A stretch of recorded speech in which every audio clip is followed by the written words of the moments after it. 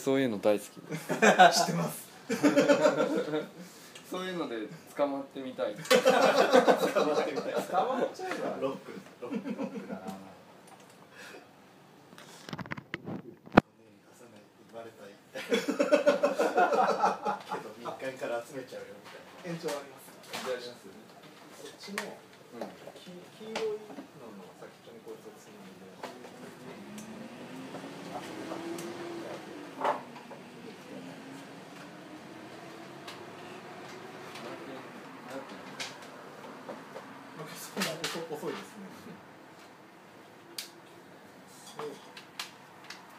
もちろんもちろん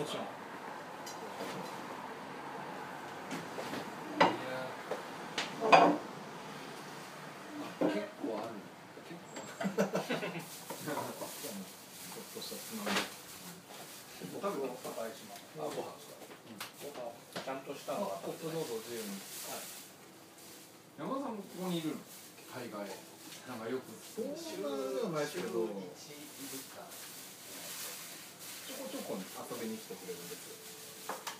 まあ、最近は白ワイン白ワインあの明太あのこの間やったシンポジウムですねで映像を作ったんですね、でそれの撮影とかイベント中心にアの研究者だっ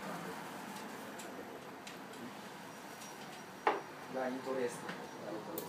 そうですね。こいいライトですかあれここの上だそっちこれをもうレイアウトを変えてこれを2枚2枚になってるあそういうことか1 8四方にして、でその上にバーッとあれを置いてここの棚のもあれが全部レゴです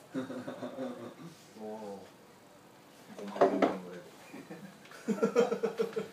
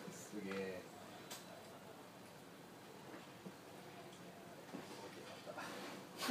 ね全然コレスしてなかったです最初はやばかった全然実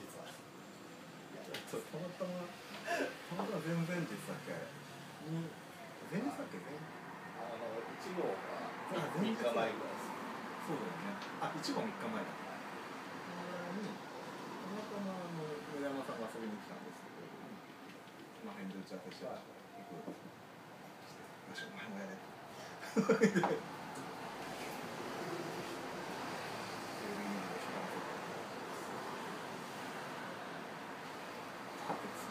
すごいね電子工作クラスからメレアンが崇められるかね味しめたっぽくてちでモテるかもみたいなこと言い出して。そうそう、もう虫飽きちゃったし、そっち行こうかな。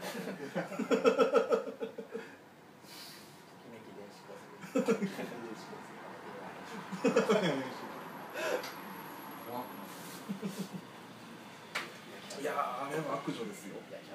ん、焼き畑農業だね。そのうち宇宙とか言い出すと思う。また逃げて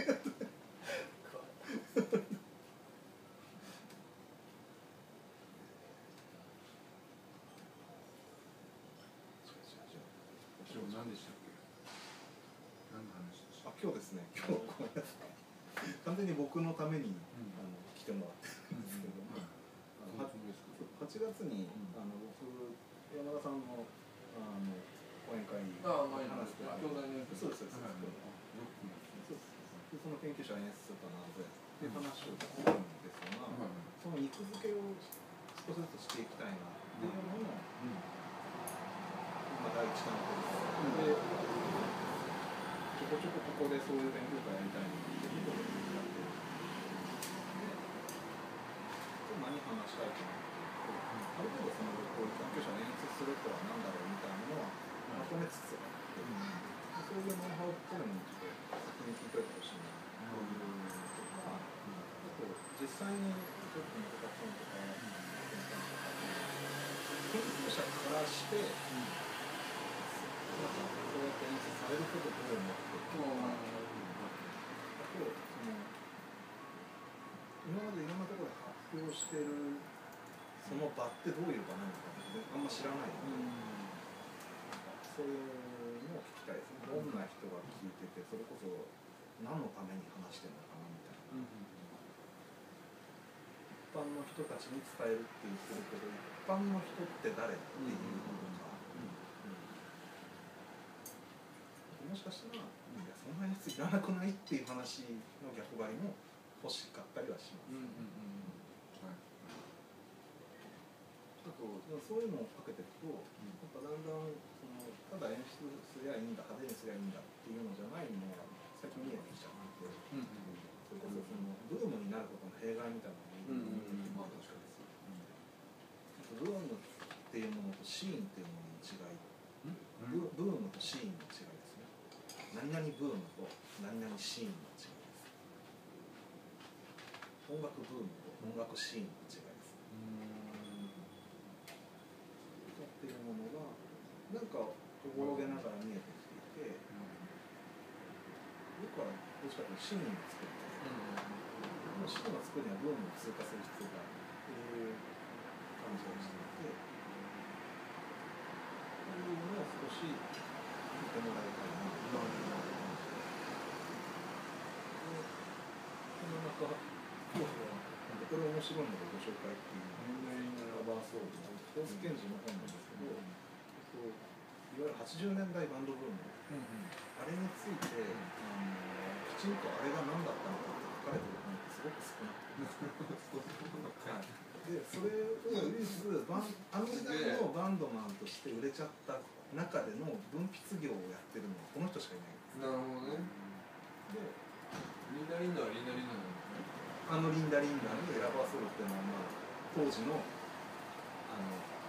バンドバンギャルたちバンドギャルたちのあのおしゃれアイテムとしてのラバーソールというこの分厚いマンォームを入っていうリンダリんダラバーソール、あの公園の参考図書にこういうのをぶち込んでこうかなそれはすごい素晴らしい感じきちんとした出典とかのあの書き方でこういうのをぶっ込んでこうすごいいいめっちゃいいですこもうちょっとあれがありますけれども、この辺とかも、この人は、こ新聞記者なんですけど、ずっとそのいろんなところのロックフェスを実際に行って、レポをしまった。ちょっとでも最近これ読んで違う。ちょ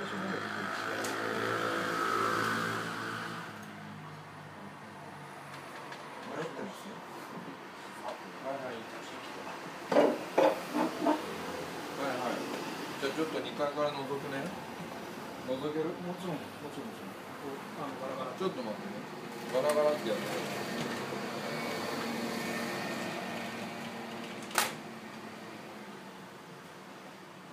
全然ロストしてるじゃないですか。過ぎちゃったんじゃないのか。高井さんから来て、今、4それがね、あれ、その辺も知りたかったんだけど、あんまり分かんないんだよね。そんなにないよね。それこそ、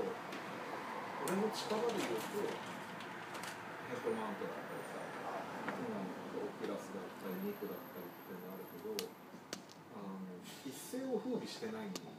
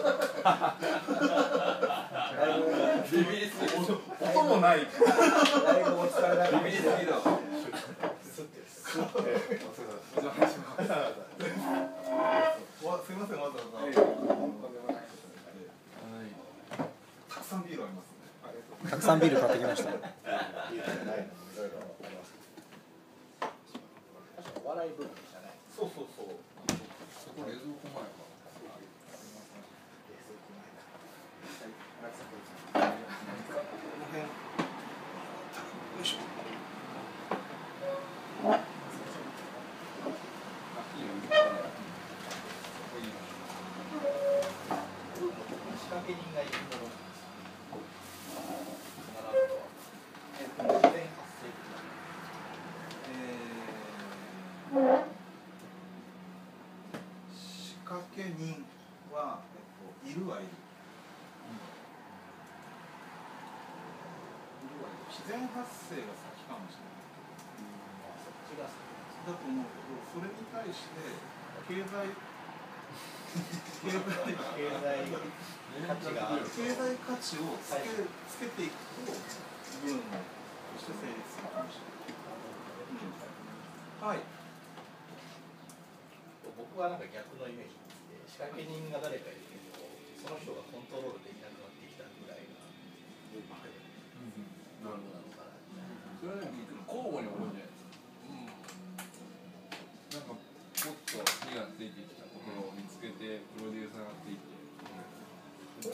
出そうと思ったんだけどその人がコントロール効かなくなるぐらい風が吹きまくってみたいな炎上とブームって似てるけど違う違いますねあのむしろコントロールできなくなるってブームの終焉だと思う、ん、あうん、コントロールが効いてる間がブームなんですよ、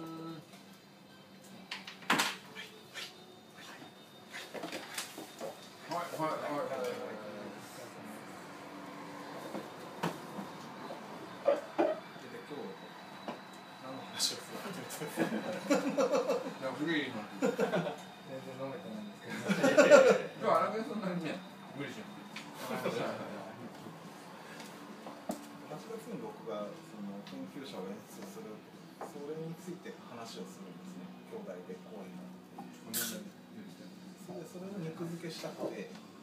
その演出するってどういうことがあるっていうのをちょっと皆さんに聞いてほしくてでそれに対していろいろこれだって回答がないものだかと、一つ、あとその、特に原研さんと松尾さんは、実際にご自身が発表する側として演出されるって、どう思ったのかとか、どう思ってきたのかとか、その発表してる学会でもいいですし、あベースにしなくてもいいです。その他のいわゆる普通の学会とかてそういう演出の必要があるのかないのか、うん、あと学習会もそうだしサイエンスコミュニケーションの現場が特にそうだけど、うん、いわゆる一般の人に伝えるためにやってきたことって実は何だったのかなそのサイエンスコミュニケーションが今向いてるなって一般の人っていうのは本当に一般の人なのかなとか、いろんな疑問が僕の中にあってその辺がちょこちょこちょっと雑談的に話して。うんとさっきの話なんだけどこの今日はこの参考図書をご紹介した これでい まだこれ実は絶版なんで中なんだけど中古で中古でで、中古で、中古で買中ます中古で、中とか中古で、中古で、中古で、中古を考えて中とグル古で、中古シーンみたいなの古ちょっと考えないとならないぞってなってそれでどん中話をしてでこのでだけが唯一80年代のバンドブームの中に巻き込まれまくってその後文筆家の中その時代のことがちゃんと書かれてるのの参考資料としてこういうのを作るごめん2回目なんだけど何回てもらないプロの中では何が起こっているかブームにするために参考になるかもしれない。そのその本についてもわーっと読んでた思ったりとおおありがとうございますそりがとういうの伝え方みたいなの話もしたい、うん、例えるって何だろうねみたいな話もちょっとしたい、うん、例えるって危ないのが、うん、いつまでたっても本物にたどり着かないのは例えの正解だったりするなるほどだからこれは多分あえて数式が1個も出てない、その辺のバランスどうやって取ったのかなみたいなのは読んでて思いましたね、いつ力士出てくんだって思ってました力士作品で引いてた作品に入れねえだろ作品で入って最高そこ入れたんだろうわれて気づいたんですけどトラフとトラフ両方作品に書いてあるんですけどトラフの方がその書いてあるページ数の数が多いんですよ。なるほど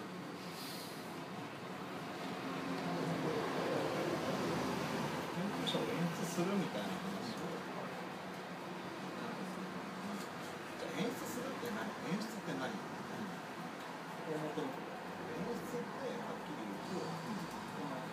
あるも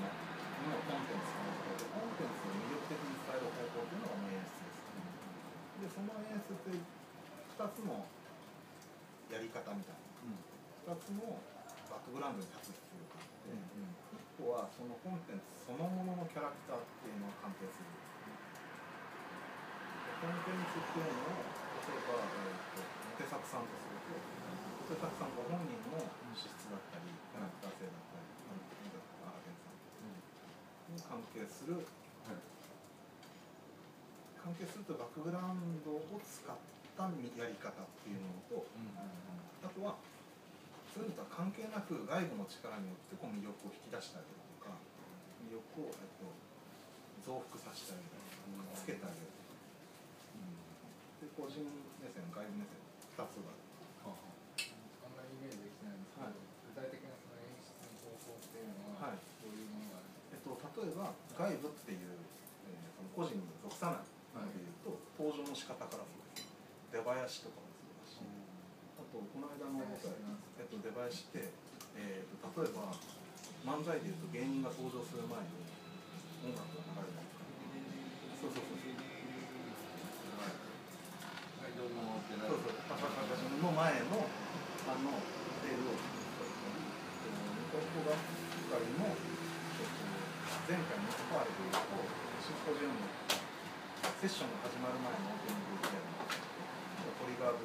とかシンポジウムと、え研究してみたまったんですあれ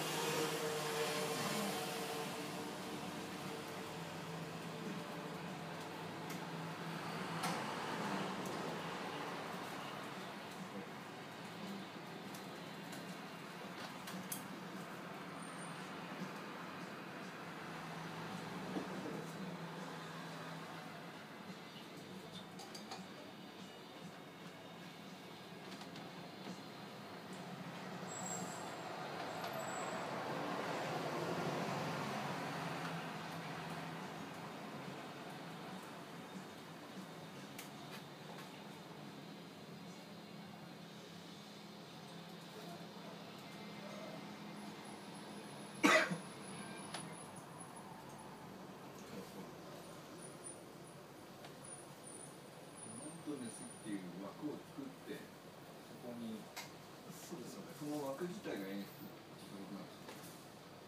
ってことなんですえっと、枠自体そういうフォーマットももちろんその外部要因として1個ありますけど、えっと、この研究センターマップの人は15人ぐらいででそれを一番最初にやっ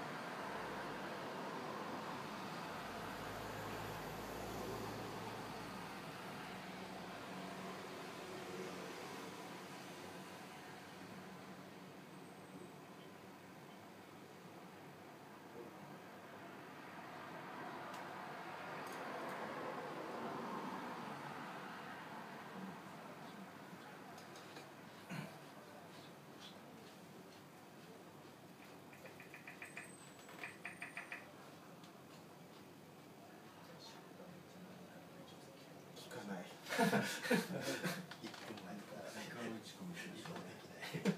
時間シャープ時間打ち込みってあ行きましたっけな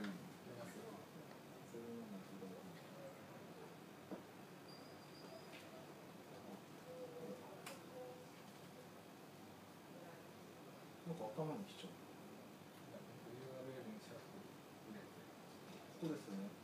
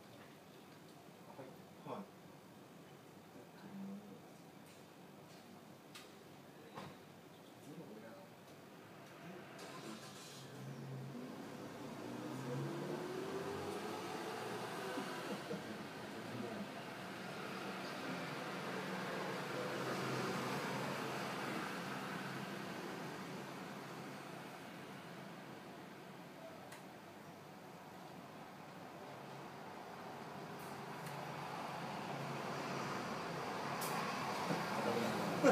大岡さん今同じ大岡さんデザイナーの大岡さん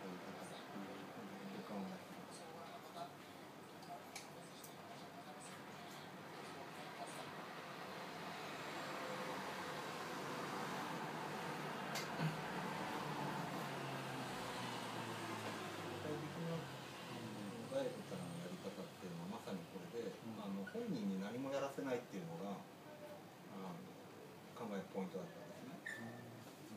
要はその本人の練習を必要としないというか。ああどういうことだ。でももうちょっと本当は座長がもうちょい頑張ってほしかったっていうか。座長ってのもやそれ要するに外部演出の人になります、はい、その場合このこの場合はですね、うん、その座長は本人はセッションに出ない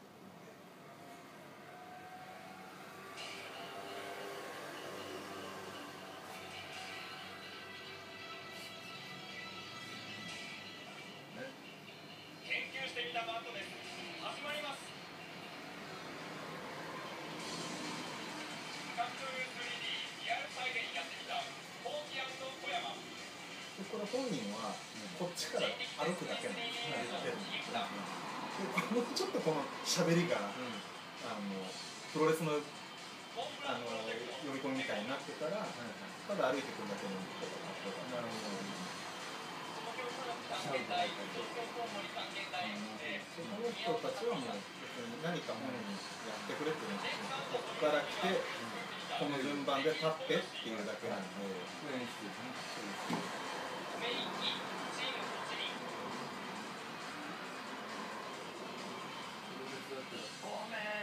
そうそうそう。とかって言うんでねって言ったんだけど、わかりました、やりますって言って、ベタ読みするって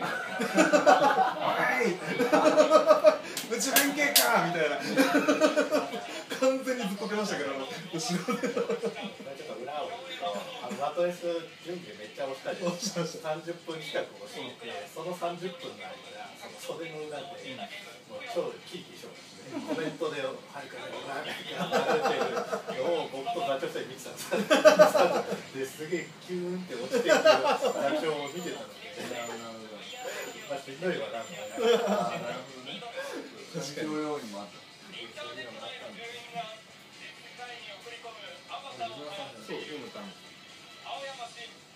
本人的にはこれすごく楽しかったんですなるほど、うん、普通ライトニングトークとかだとなんかじゃあ順番に出番来るまで待っててください出番来たら僕ソボソと演題のところてやって帰ってくるんですよ目立つ瞬間がないので良くないなって、まあ、これが分かりやすく外部からの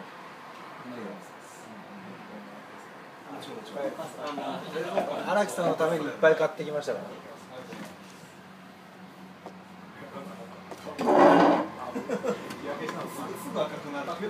そのまま続く感じってまい。はい、つくばに、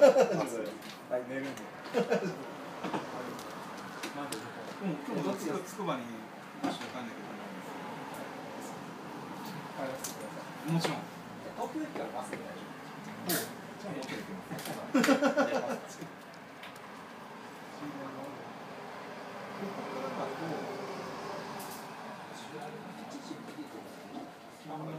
で。これは十一時十六分大丈夫です。そんなに。デジタルはその後になります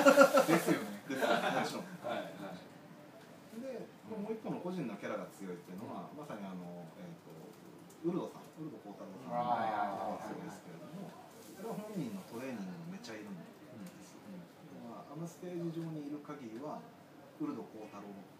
というキャラを演じなければいけないんであの回はうん、実際どこまでその演出っていうのがあのムシムシの回ですか、はい、ムシムシ外側からあったんですか本人完全本人ですねプロデュースでも僕があの時に話したのは恵子さんだけなので、うん、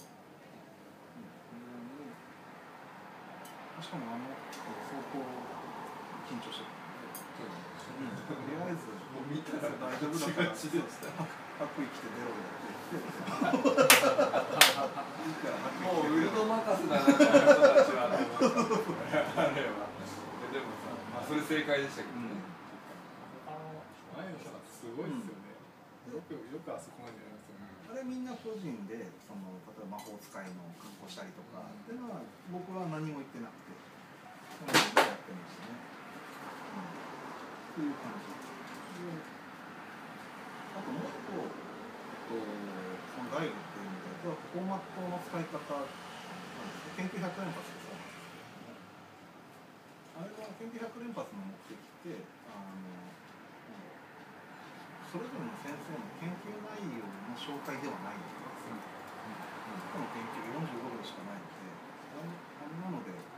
研究が分かるわけはないんですけど、それをわざと1人20個やらせたんです、ね、そうするとその一貫して何かその人の価値観が出てくる貫いたこれ系に興味があるんだこの人はとか逆にその一個の研究がバラバラのことだとしてもそういう幅広い好奇心を持ってる人なんだなキャラキャラクターが15分の間に浮かび上がる20分やってるっていうのが今度研究発見のフォーマットの本質というかなるほどフォーマットっていうのはそのやり方やり方ですその20発を15分でやれそ見せ方じゃなくてやり方やり方ですね、フォーマットの、見せ方っていうのは多分さっきみたいなものだったり、うん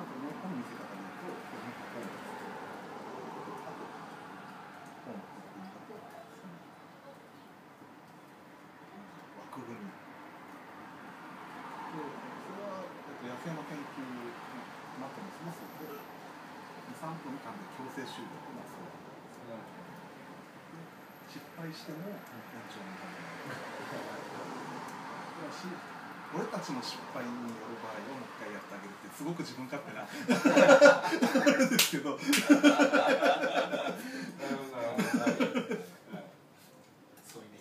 そういうね二回やらせるって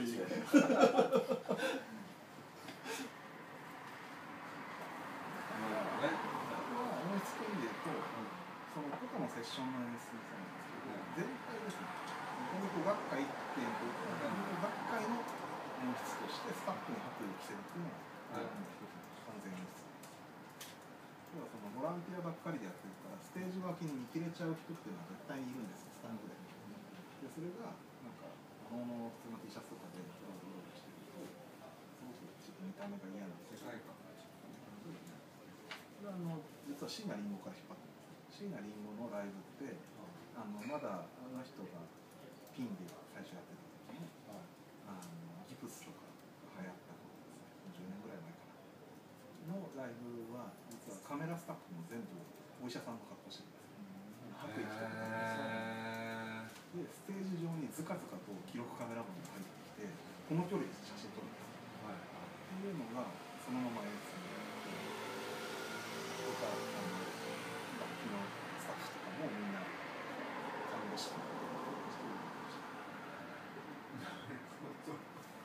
それが学会員っぽい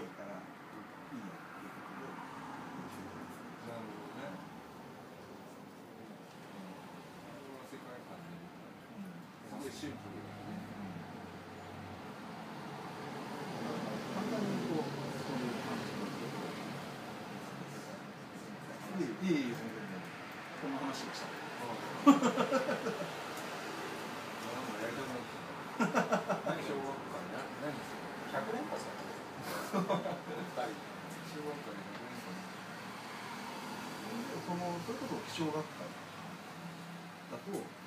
なんかどんな進行なのか例えば気象学会会場が空いてお客さんが入ってそこからの流れって何かあるんですかちゃんと案内がスタートの時何かあるとか。時間が来たら司会者が来て、時間がありましたので、始めたいと思います。では公演番号 A の403荒木健太郎さんつくば市で発生したつまきについてよろしくお願いしますっていうこれ演出まあ学会っぽいぽいぽいって私今度のあの秋の気象があるからそこにスペシャルセッションでちょっと近いことやりたい近いですねそれただよりちょっとつじゃないかダチョウんコンビ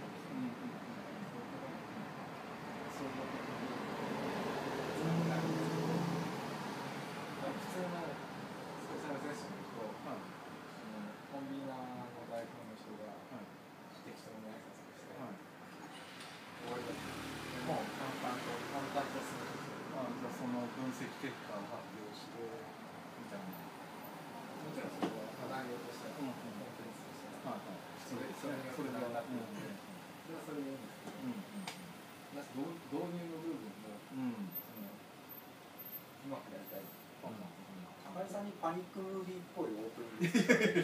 コンビコンビナってのは何ですかあの世話座長で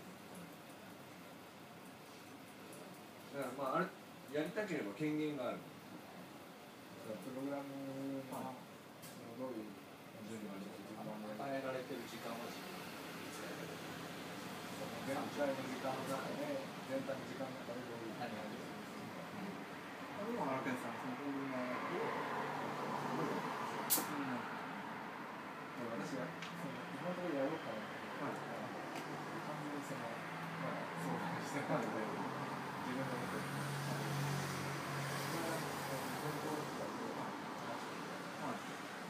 最初に、はゲリラ豪雨そ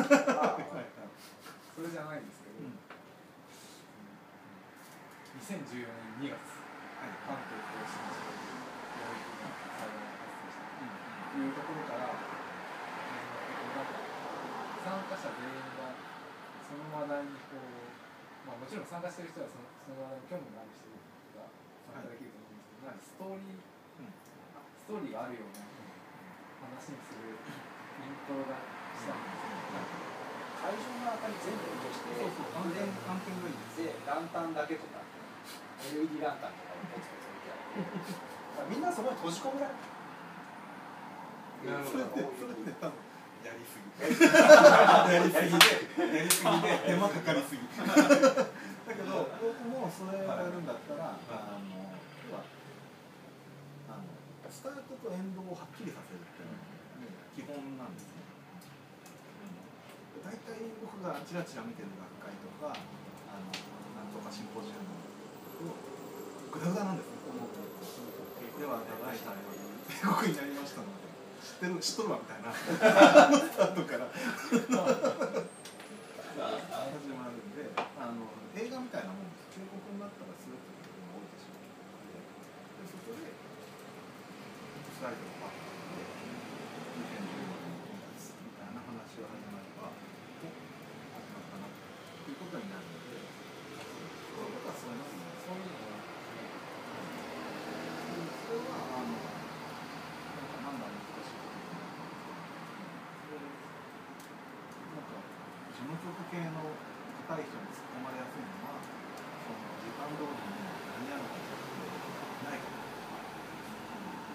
させねばならぬんだみたいなものが休憩時間中にスライドの出してきてるんす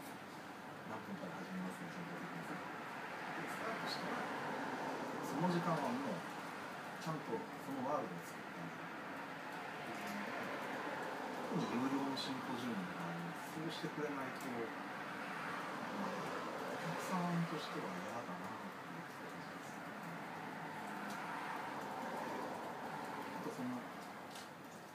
使う要素2月の大雪についての議論です、ね。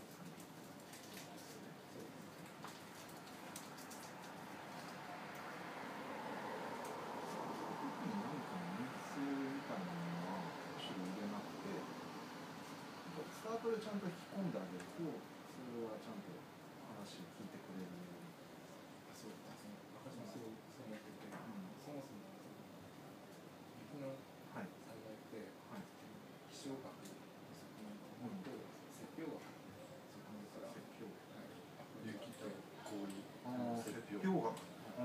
気象とちょっ学が来るまでのう去、来るまでの大気から高卒現象その降ってるさなかのところまでよく見てます、はい、なんか降った後のことか、うん、説教学はむしろ降った後積雪してそれが流れにつながるとか、そういう降った後の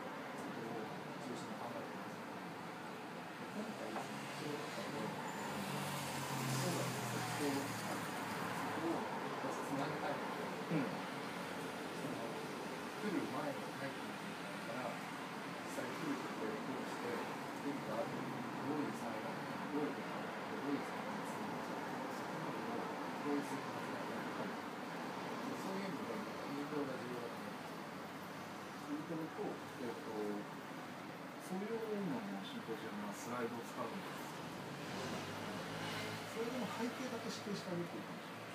その頭の出の前の話との相手がプロだったりプライベ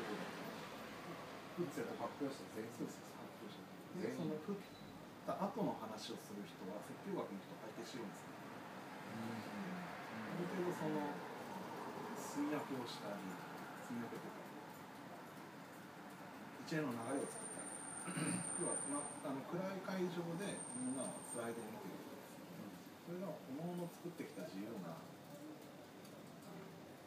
背景の感じとかっていうよりは、そこに一夜の流れがちゃんとあったんだうん、全体の作りとしてはあるとそれが空からちゃんと雪の降った大地になってっていうようなイメージだったら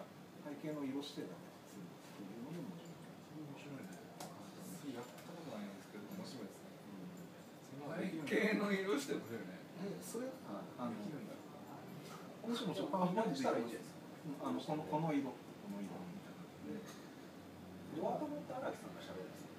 こういう説教学でこのセッションやこういう統一感を統一をさせたいんだっていうさっき高井さんにしてた話でょとお尻ですお尻お尻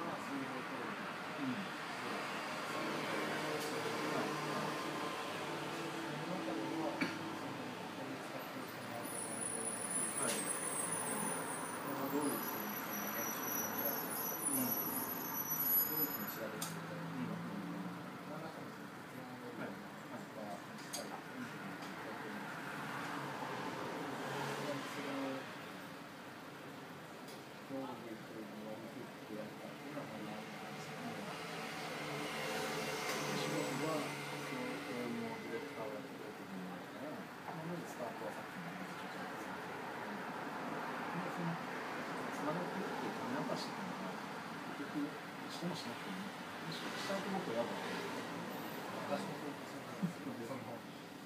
んか見て見て感がかっこ悪いでそれはもうしれっとやってあげるっていうことにしてでただ、えっと、この気象学と絶叫学っていうのは分かれた学問ではないっていうことはその総合討論の前に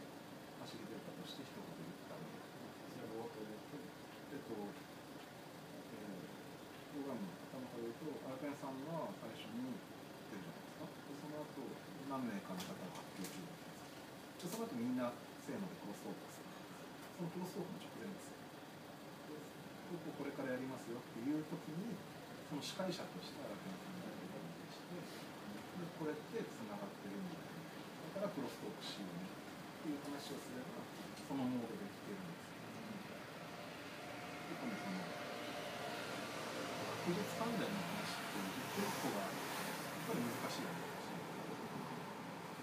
それを理解しながら全体のつながりを自分で見つけてつなげていく。最初の高校生だけ司会が1回。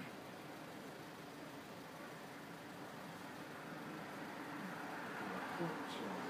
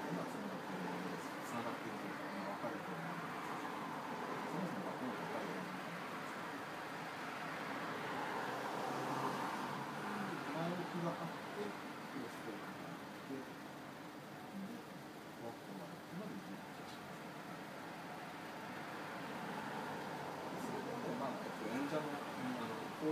登壇者の負担っていうのは結構ないパワーポイントの背景の意思を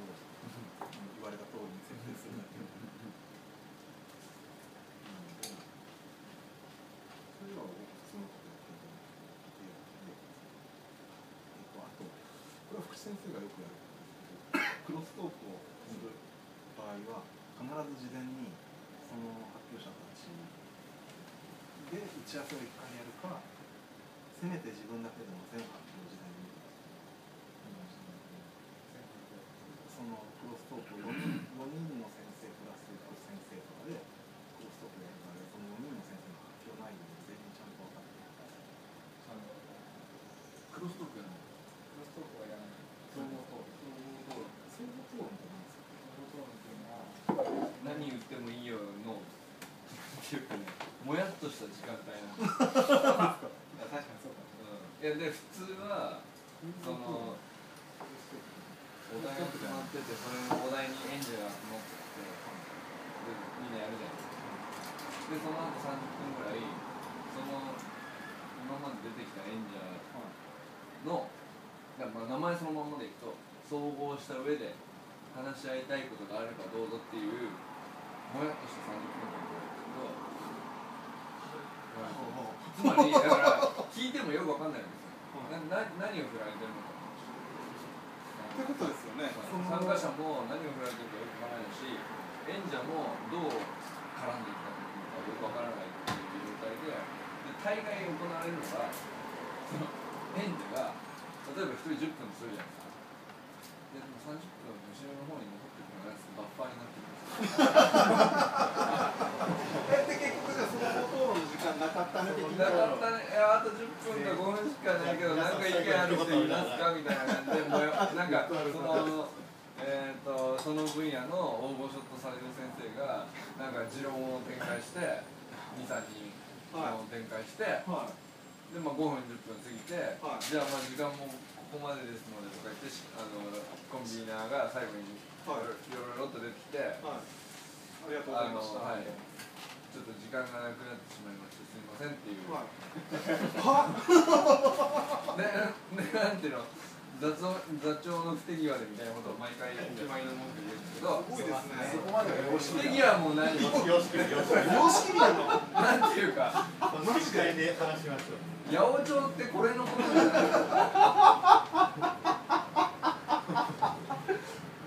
本当ねこれ流して俺大丈夫 マジかマジかっていうところから俺らはまず俺らそこから向き合わなきゃいけないでメソ系で一回書いたあの意味じゃない俺がやったあれは一種の演出だったねで僕は2年前にとある研究会150人ぐらいのこうちょっとスピンナート的な気象学会そのものではないんですけど年前ですね2年前ですか。そんな前去年あ去年か1年前ですはいでそういう話になった時に九州北部豪雨2年前に熊本で800ミリ降ったのが、まあ、メインテーマになってでそれについて研究してる人がこうなんなんとなく集まった会があってでそれの総合討論のところだけ僕に任せてだからそのその回自体を取りまとめる責任者ではないんですけどだから全権を言いたいもらったわけじゃないですけど総合討論だけ僕がで任した方は総合討論のバッファーだからまあ誰でも感じで任してるんだと思うんですけど俺はまあだからねちょっとなんですか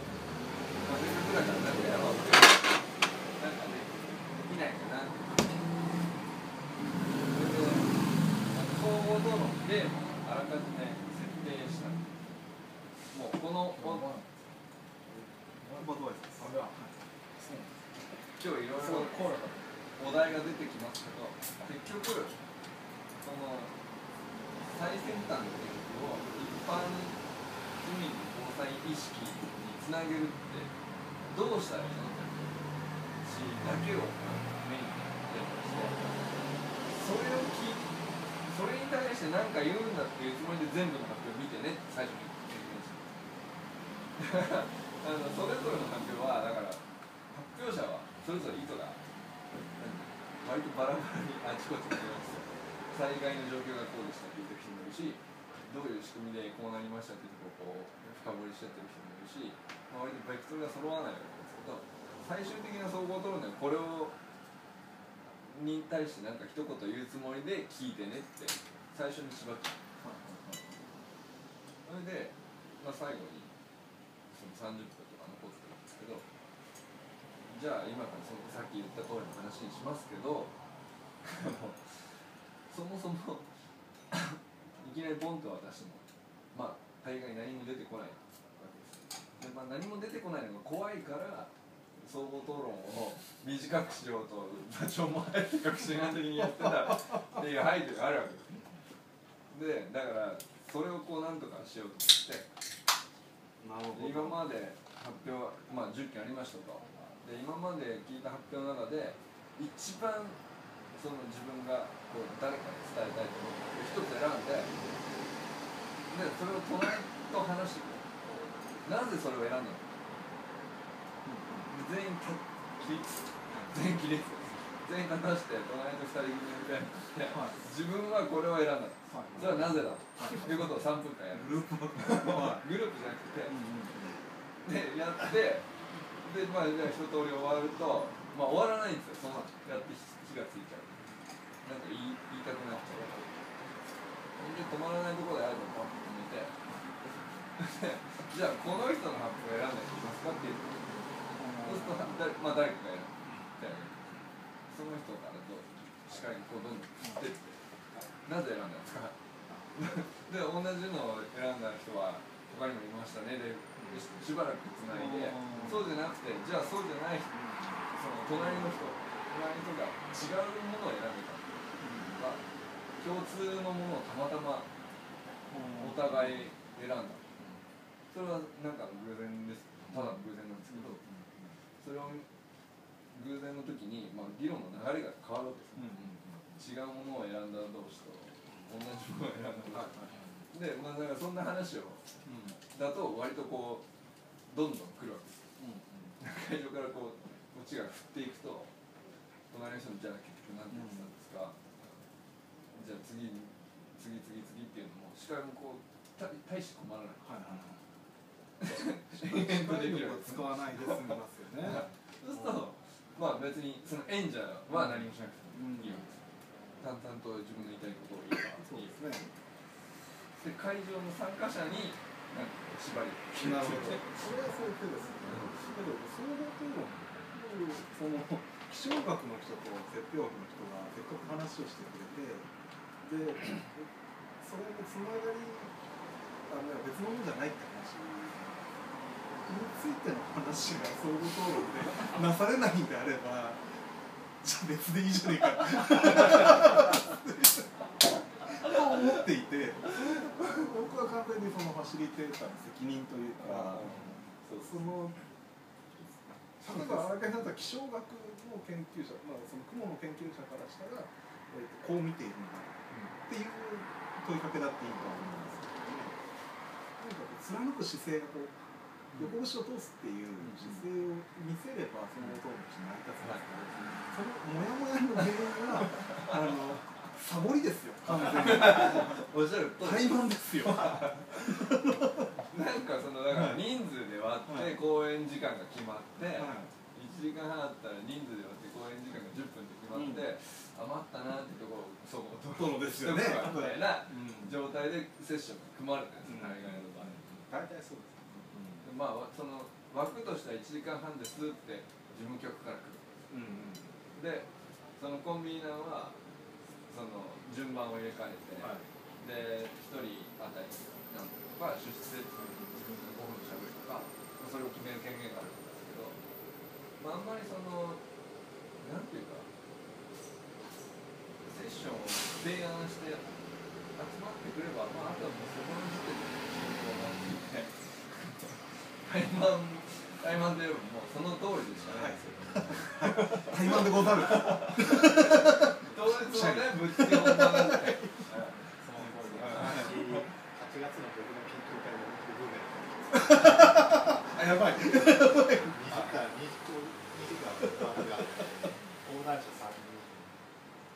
一人の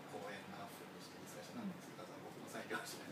完全ブーメラン完全ブーメランどうしようそろそろ決めようと思いま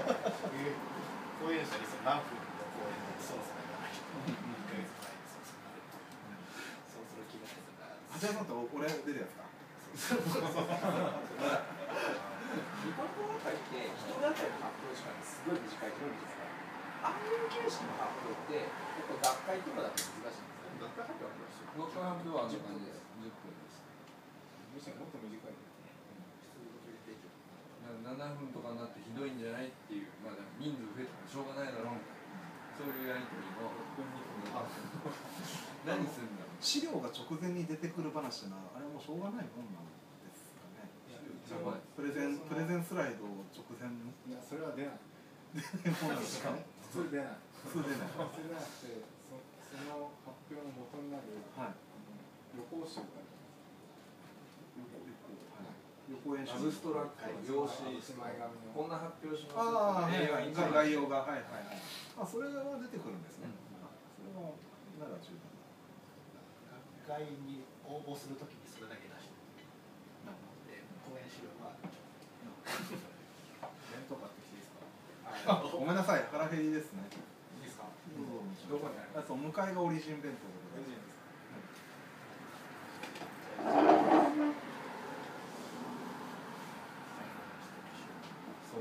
それあのなんだったら僕の YouTube チャンネルで動画あるのあ本当ですかその小学館してます変わる前と変わる前が昔のやついろいろあるはいまあだからそのさっき言った無気象研究いそういうことを話してますとこの間春の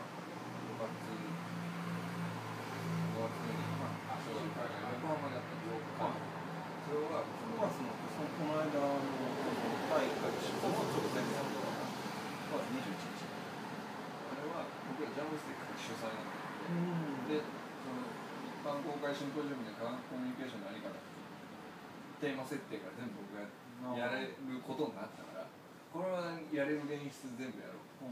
って、だから総合討論だけじゃなくて講師選びから講師に対して何を要求するかとか、まあ、全部でもすごい楽しかったっていうめちゃめちゃ楽しかった、うん作り込むとこんなに楽しいのか楽しいですよね、うん、学会は最近そこの楽しさを感じ始めてますだからこれは講演者も講演者もやっぱり多分なんかもやっと引っ掛けられるよりは、こうしてくれああしてくれで作り込まれるのが全然楽しい、出てきた人の満足度とかも全然楽しいですね、だから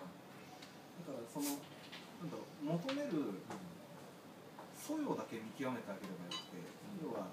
こういうふうにあのウルトさんみたいなパフォーマンスをしてくださいって他の人に言っちゃいけない、うん、それはそのステージング能力こういうこういう話題をしたいとかあと圧倒的に欠けてなまってつものはそのシンポジウムを見た人がどんな気持ちになるかをイメージして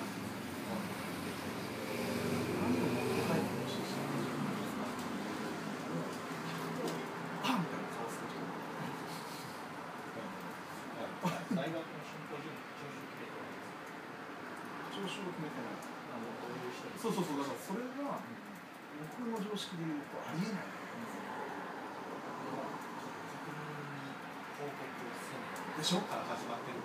でもさそそれがさそれってダダメなの言っちゃ言っていいの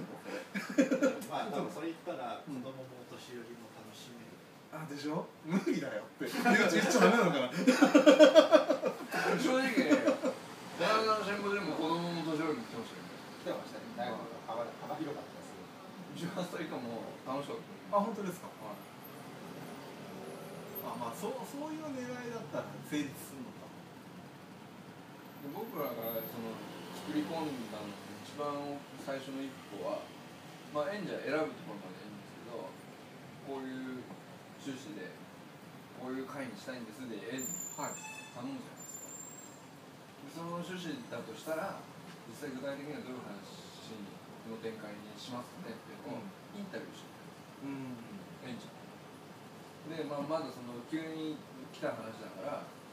そんなにまとまってないけど、まあ、今までのバックグラウンドからすると、まあ、こういうことに対して特に問題意識持っててで、まあ、以前こういうことがあったのを僕はこうやってたんだけど、まあ、みんな来てくれた人はどう思うのか聞いてみたいな、とまあ、そんな話でもいいで、まあ、僕らも僕らそれ聞いてどう思うみたい話を返すんですけどそこ動画に撮って。都市部参加者が集まるだろうイベント f a c e b のイベントページにしまはい、でもそれ何人見たか分かりませんけど、まあ、一応それをそのなんていうかなその演者のコンテクストっていうか、はい、その人のバックグラウンドをはい、文脈を知ってる人たち10人いると全然海すね全然違うんすテーマだけでやってきたんじゃないですその演者のコンテクストを知った上で来てる人が、はいまあ、何人かいる状態になっんだけど、最初に始まるその瞬間の空気が全然違うんですよなるほど、ね、それはそれは本当にそう要はあれか変かっていう、まあ、もう全然そうですね、うん、で来る人もホームなんです、うんうんうん、演者を知ってるような感じだから、あの人と生で喋れるっていう状態に、うんうんうんうん、でも動画の中ではある程度対談してるわけです、はいそそこがあの多分ラジオが参考になることだと思うんですけれども、うん、その近い距離で喋りながら遠くの人にも分かるように喋るっていうのが大事で、はいあの要はバックグラウンドを知ってるコンテクストを知ってる人間が集まると、うん、とてもやりやすいじゃないですか、はいやりやすいと知らぬ間にはしょってるんですねあ、はいはいはいはい、前提をはしょってたりとか あのあと通ーで会話をするとっていうのが目立つとそれって外部から見ると内輪っていうふうに見えてくる、でそこをうまくあのこのあの話だけどさって言わないで、うん、何々であったあの日の気象こういった雲の話だけどさっていうふうに言うと聞いてる人、うん、その、うん、丁寧さ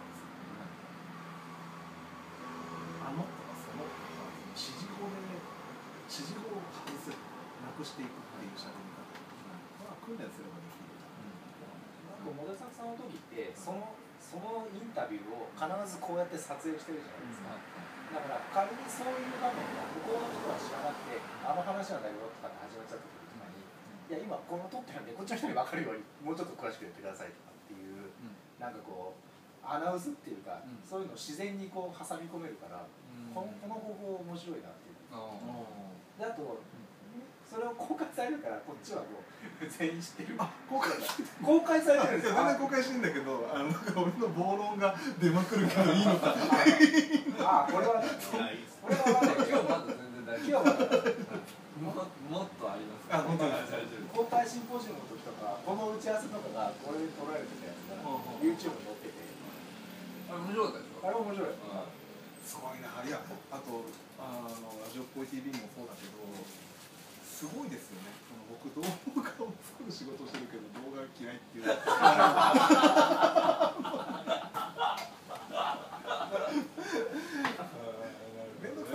ど思うんですラジオボーはねやっぱすごいなと思いますうん、かさすがテレビマンだからねあの人テレビ局のディレクターだった感じさせますね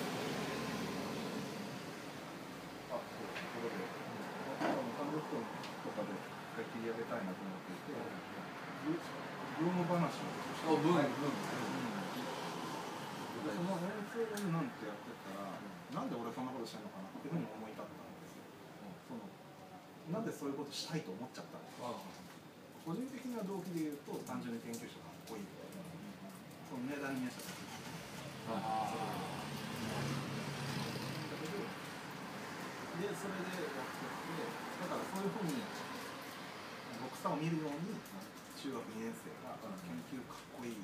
か俺は体育もできない小学校もやんないけど物理できるから、そっちでいいんじゃないのっていうふうに思ったりとか勘違いしてスタートできたらいいなっていうのが動機なんですけど、でちょっと思ったのはその動機があまりに無責任な時あるな少し思って要は研究者を目立たせりゃいいやーってやっていくと要は大方問題を引き起こすわけですね。あのにやってしまうでも僕はああいう側面はもう必要悪というかそれすら起こらないでどうすると思っているんですかね、そういうあの変なちやほやさえを起こらずして流行ったとは言えないっていうふうに思っているでじゃあちょっとブームって何だったのか調べてみようということで手近にあったブームがバンドブームだったっていう、僕のバックナンドはやっぱりバンドブームだったので、その辺の話をちょっとうんちく的に語ると、はい、実は1980年代からバンドブーム始まってるんです日本だと60年代にグループサウンズが70年代テクノポップが出て大変さんす80年代はインディーズがメジャーとインディーの違いって単純に流通なんですね CD の流通販売程度販路が、まあ、ちゃんとあるけどプラネチャーだとっていうのが、えっと、ざっくりしたインディーネチャーの違いでそのインディーズそのどこのレコード屋でも売ってないけどここに行けば買えるみたいなのがかっこいいんだかっこいいんだって流行ってきた時に、えっと、マホムレコードっていうのナゴムレコっていうレベルが、あのに所属してるアーティストがどんどん中にあのと分かりやすく今で言う田口智郎とか、えー、電気ブルーとか、えー、あとそれこそ大月健二もそうですし、えー、っていうのがナゴムレコードから出てるんですね。えー、それからあと全然別のあのイカスバンド天国っていうバンドにそこから出てきたのがブランキー・ジェットシーもそうだし、うん、理科系ユニコーンとかもそうじゃないのか、そういうのが出てきて、はい、でまあそそんなうんちくは置いといたとして、で、えっと、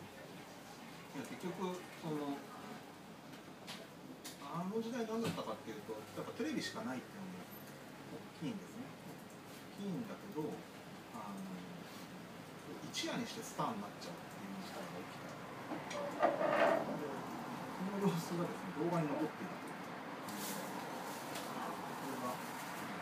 昔、ナゴムレコードっていうあの映画というか、記録、ドキュメンタリーがありました。その時のナゴムレコードに所属しているバンドのあのライブばかりを集めてるので、うん、そこは木う演奏下手だし、うん、わけが分かんないんですよ、う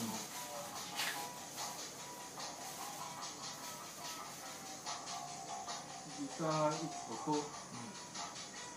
木魚を叩いている人とかっていうのがいたりとか、うん、当時の。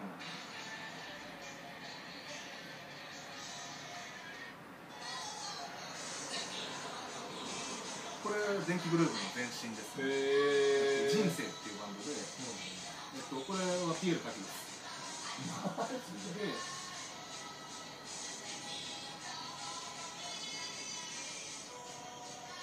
これは何を歌ってるかというと、うん、金玉が右から左に行くっていう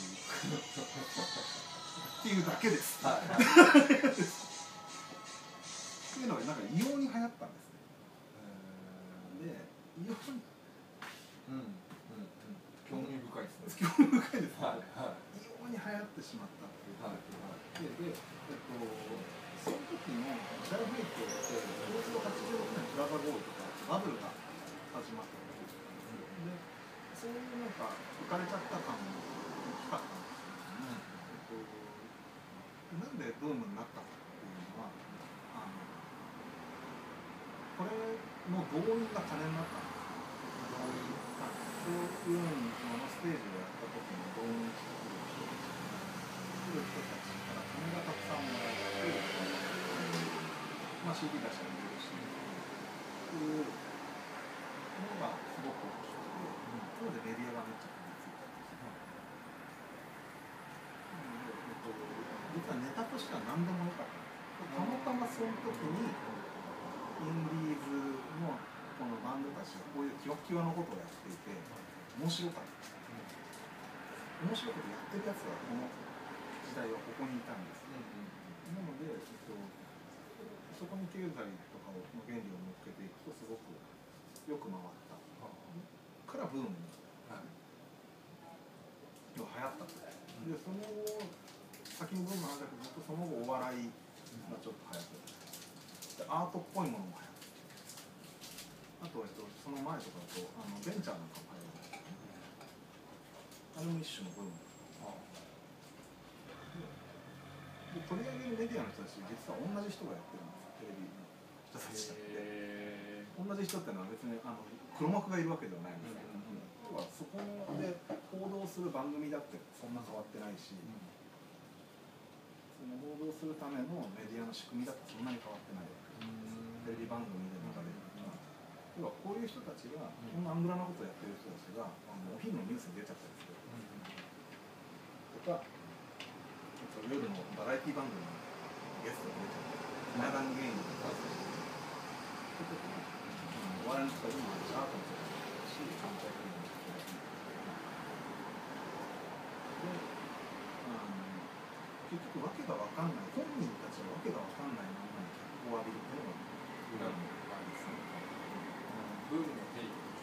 そうですね。はい。で、あと、まあ、仮説でもあるんですけど、本質的な仮想というのは彼らが音楽なんですけど、その、やってる人たちと取り上げるメディアだけでは音楽が成立しなくて、そこについてる人たちっていうのは、まあ、ファンがいるしかもファンって、あの、このファンの人たちの音楽やってないの。音楽やってないけどファンの人っていうのは、は自分は別に音楽活動同じ土俵には立とうとはしないんだけれども、うん、その人の真似をするとか、はい、その人と同じ格好をするとか、うん、ただ模倣してみたりとか、うん、全然本質的な音楽と全然違うことこの人の楽曲じゃなくて洋服を真似てみるとか、本質的な活動とは違うところで表の人間が我がことのよう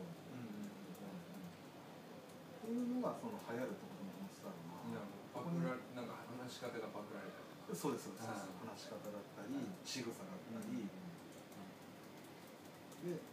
その辺が顕著なのがこういう雑誌があって。どんどんか明かしていっていいですか、どんどん。どんどん明かして。えっと、リターンマガジンというのがあって、でこれは歌窓はあのギターを弾く人向けの雑誌なんですね、なのでこのピップスあの弾き方とか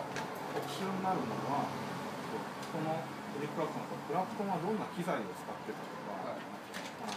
のどんなセッティングをしてるのかなとか、そういうやる人向けの話なんですけどそれももっと軽いのはバンドやろうと思ってこれ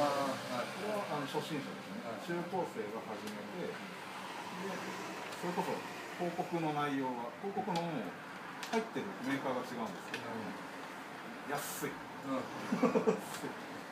お年まで買えるとか、はいはい、あとこういうメンバー募集今すごいっすよもう住所名前電話番号全部載ってる個人情報個人情すごいいやいいですねタイミングバッチリの話題で面白いなはい、何百万件で、簡単なコードだけですけどもとかがあると思いきや、うん、えー、全然いいけどこっちこういうのですねバックステージパスとかあとパチパチなんかするな、ね、うんうんうんバックステージかこれは、えっと、関係ないんですよその音楽やってない人の手出しなんですやってない人向けなルナシーを愛してる人たちが、うん、あのルナシの世界観はいルナシの世界観だったりこれはえっとミノランにとってルナシーというバンドとは友情の話ですね、はいとかっていう本人のプライベートとか考え方とかっていうのを知っていたりとか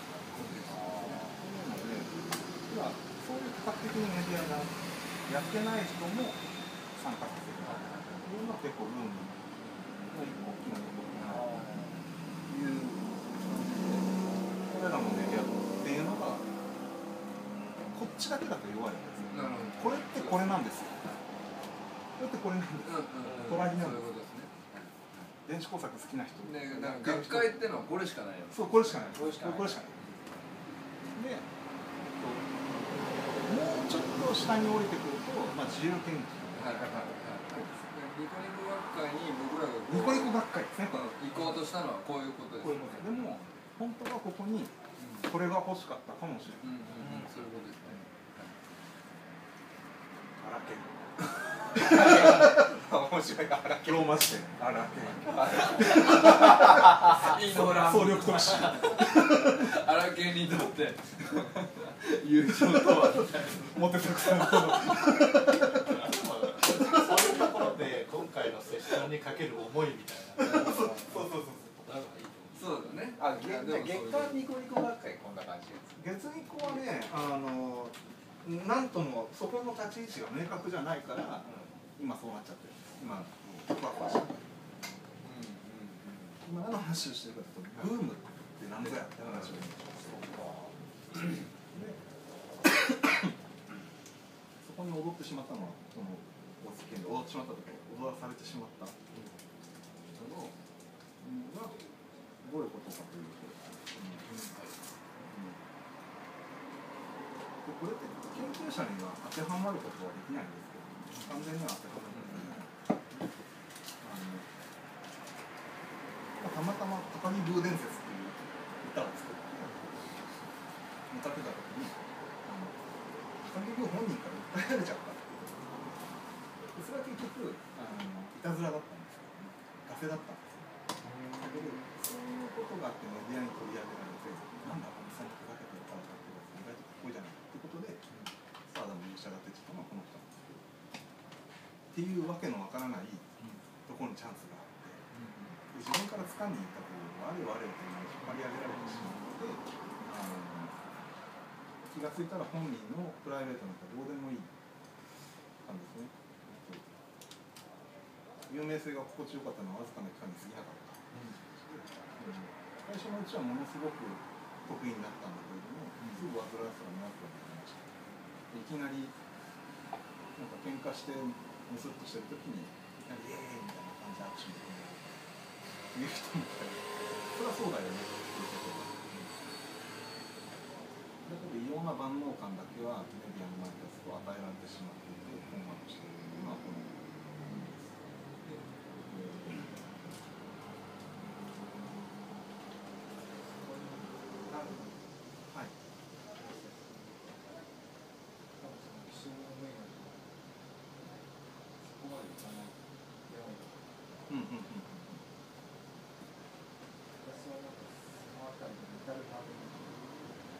知りたいな、っ歌いたいかどうかって結構大事な話で。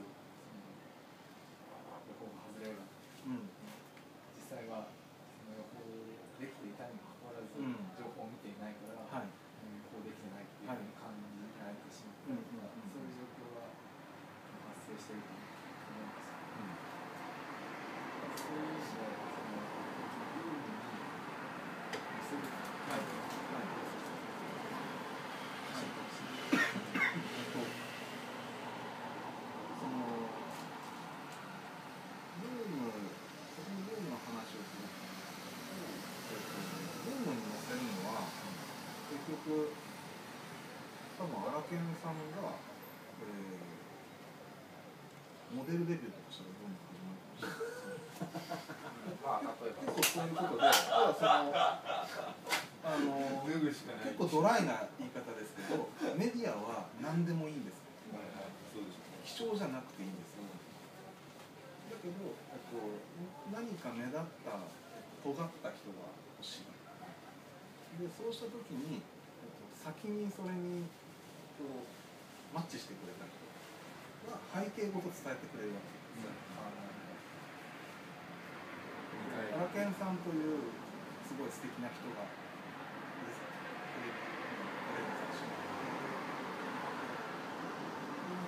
もこの人って気象の研究その気象学というものを背負って日本外交的にやってるんだっていうことが、えっと、本人がバーンって出た後からわーっとがブームです。ブームがバーって広がって、その気象学ってそうなんだってなった後に来るのがシーンです。そこだよ。そこです。ぶっちゃけ人柱です。人柱で生贄です。で、えっと、実はこのバンドブームのその後があって、94年ぐらいからミスチルが出てきてるんですね。で、100万枚のめちゃ売れてる時期ってそこなです。94から、えー、8、7チル、えー、ドリカムそこサザン、ビーズ、グレイあのでそれってとてもある意味健全な第二次バンドブームこういうわけわからなさじゃないじゃないですか、きっちり音楽としてなくてで市場もしっかりしてるわけですね、でカラオケとかでみんな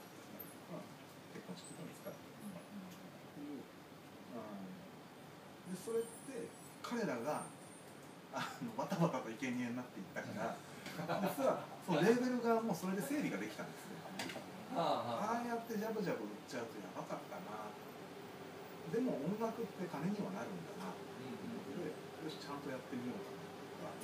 とかあと先にアメリカとかの音楽シーンもあったりするので、ちゃんとレコーディングとかやった方がいいんだなとか。それは音楽の人たちがちゃんとやってこれは、うん、メディアの人たちが音楽なんかどうでもいいけど面白いから出しちゃうスミのネタの一つとして音楽を使ったすごく似てますよねよくわかんないけどスタッフ細胞があるみたいなあれ俺スタッフ細胞があったら超やばかったちゃんとあったあの科学的なあのあれ手法がどこかこうだっていうのはもう置いといてください。意外にあれ本当に成功して今頃研究してみたまとですねやばいことになってちょっと野生の研究者で今きっちりとした学問の現場にいる人たちは多少の抑止が働くと思うん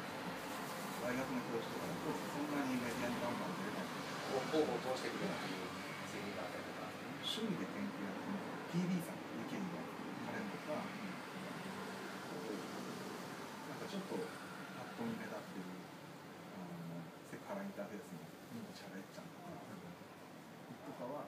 都市スタッフ細胞が、えー、ちゃんと成功していてリケジョブルみたいな温度になっちゃった時にどんな取り上げられ方をしたかなって思うとすごく僕はちょっとゾッとするというか完全に消費されて終わるので。ある意味あそこで変ブレーキかかってよかったな。アンガン頭のいい女子みたいなことを言い出すんです。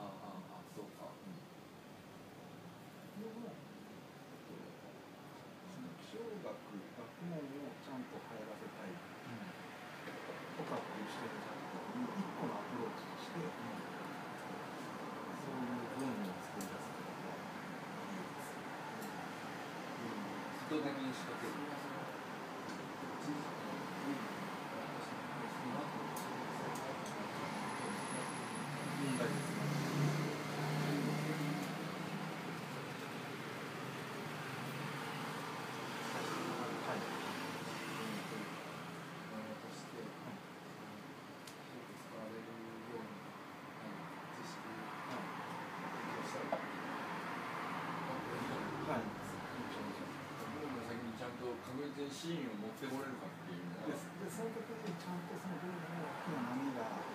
ーってなった時にちゃんと研究をずっとやり続けているその部分の発端になった本質的な活動ですうん、それを忘れて、うん、あのワイドショーのコメンテーターとかやりだしちゃったらやばいわけです、ね、うん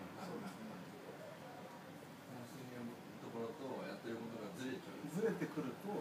それはそのまま終わっていくんですけども、そういうこにずっとやり続けていくという必要はあって、ということですねなのであのでこれが答えだという話も今日はできないんですけど、僕はその8月に言おうとしてるのは、あの明らかにメディアってそういう波を持ってるそういう大波を起こしてしまうっていうのがメディアっちにも来る可能性って大にしてありますから、ね、だから取り上げられる時にすごく気をつけた方がいいってう思う。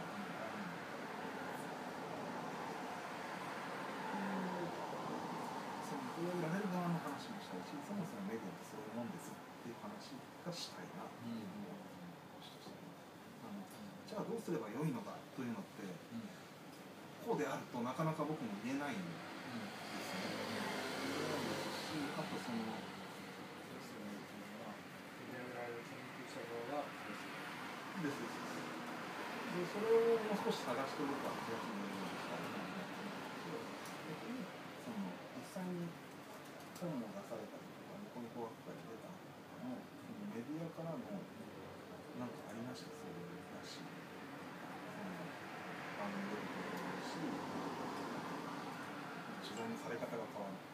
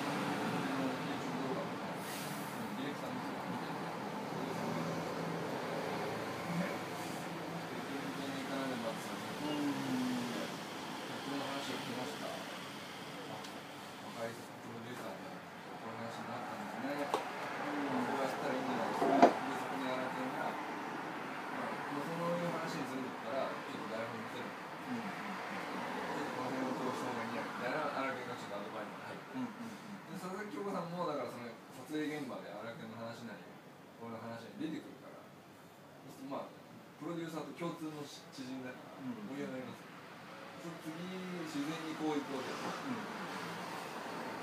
に誰か押すとかなるほどもともとさんの今に何で出てきたんですか僕のところは最初本ですねバ先生の正体を読みました、うん、あのついては、あなたが台風の専門家でないことは知っておりますがキャラ推しで思い出しますみたいな電話がいきなり来るわけです本ってキャラってそこまで伝わるか不思議だったんですけどさんのイオライズの正体は完全に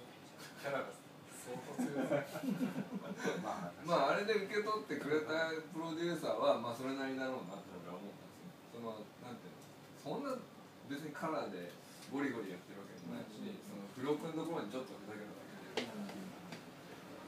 この程度でなんだろうまあでも他の気象学の人と相対的に MV やってる人がいっぱいいるんですよ。そっちに声かけい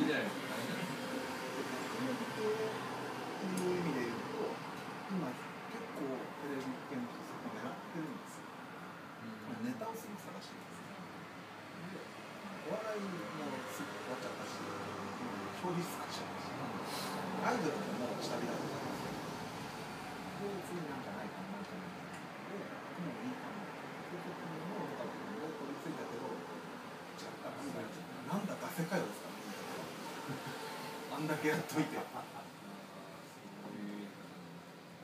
うまあ狭狭い僕の情報源ですけど、はいあのー、そうだから声をかけて来てくれる人は、うん、いろんな方向からあるんですけど、うん、リスペクトがあるかないか結構分かる分かりますよねでそれ今村山さんがまさにそんなのばっかりでしょっちゅう報告来るんですよ いやそんなまた来たんだけどみたいなので大体そのいや本はまだ読んでないんですけどみたいな感じでよくわかんないけど女の子だし安も可愛らしいし、あのすごい虫が超好きななんか実写版のウシカみたいな感じでよろしくみたいな。なんだそれみたいな本気でやっててや可愛いって損だな逆に言そうなうん、いや俺可愛くなくてよかっただからそのイケメンとかいや同じキャラでも多分ねやっぱり同じまなんていうの研究やっててもそういう使い方しちゃうってあると思うんですよね。短くまとめてくださいつまり目立つのは何ですかとか、うんうん、一言で言ってくださいとか、うんうん、でそれっもテレビの制約としてそうなんですね、はい、尺に収めなきゃいけないとかワンカットってせいぜい7秒って決まってるんですよ興味が持つのはそのことをうまく自然に波さんなんてうまくて本人は分かってやってますね一アナウンサーだから抑揚のつけ方もそうだし何かこれってこうなんですっていう時って長くないんです全部のワードが。秒以内で使わせるっていう言い方をしてるんですね。はあそういう喋りなんだね。僕アナウンサーならそりゃそうだと思って。この間ねあの僕らのやった新聞で岩谷忠之さんっていう気象キャスターで、まあ、ずっと僕らのけどこの人が僕らに要求してきたのは、まあ、全員立って自己紹介しましょうで自分が何をやってるかを15秒で言いましょうっていうターンがあったんです、まあ、ちょっとしたワークで何のことはないんですけど15秒っていうかメメモリっていうか、その感覚を知らないとそのきついやつです、うん、で、まあ、僕らは学会発表は10分っていうメモリしか持ってないので、その中でどうするっていうメモリしかないのに、いきなりメディアが取材に行くと、まあいいようにやれられるしかないわけですよ、でだからあの切られちゃう、うん、そうそうそれはだからその味方に立ったメディアの周りから見ると、うん、あのちゃんと自分のことを伝えたいんだ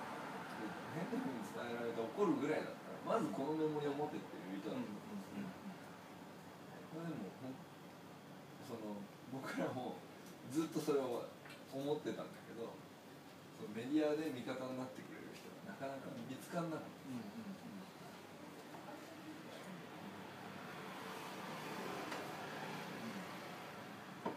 うんうんうん、でも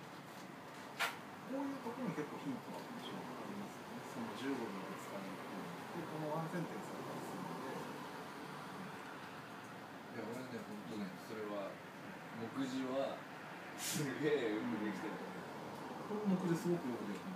すねちっちゃいやつらが世界を変えるって言い切れるそうそうそうそうそうっていう話なんですよって言ってからあのその次の話を展開する分には十分3分で喋れる、暖かい雨って知ってますとかええっていうふうにならせればそれってあのメディア的な引きがあるということです、うん、もうなんかテクの話になっちゃう相当でも考えて作ってるねまあでしかもそのいややっぱりだから300人とか集まってくると分かってる人がいるんですよ、うん、分かっててこうアドバイスしてきてくれる人がいてメディアのテクですとはあからさまには来ないけど、何が分かるか本質的にアドバイスしてくれる、うん、悩ましいです科学の場合って科学の場合は楽しいか僕はやめた方がいいんだけどこの場合か、昆虫食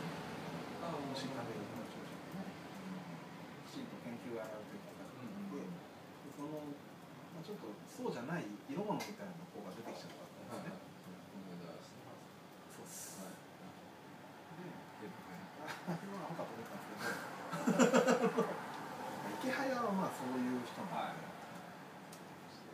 でそれに対するカウンターで黒川さん佐伯さんがやったのはあの正しい情報をきちんと発信していればみんな分かってくれるなわけないんです ね、はいそうですねそれは我々の過ちと同じですかつての我々の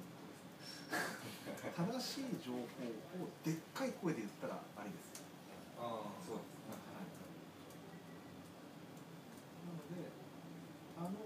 職は池早とかにああいうふうにやられちゃったんだったらほぼ日とか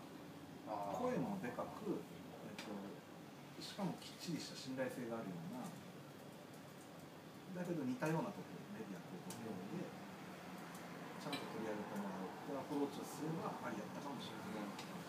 自分のとこのホームページであの文章をアップしましたたくさんよろしくね、まあ、知り合いでしかたくさんするんだけども完全に負け戦だなみた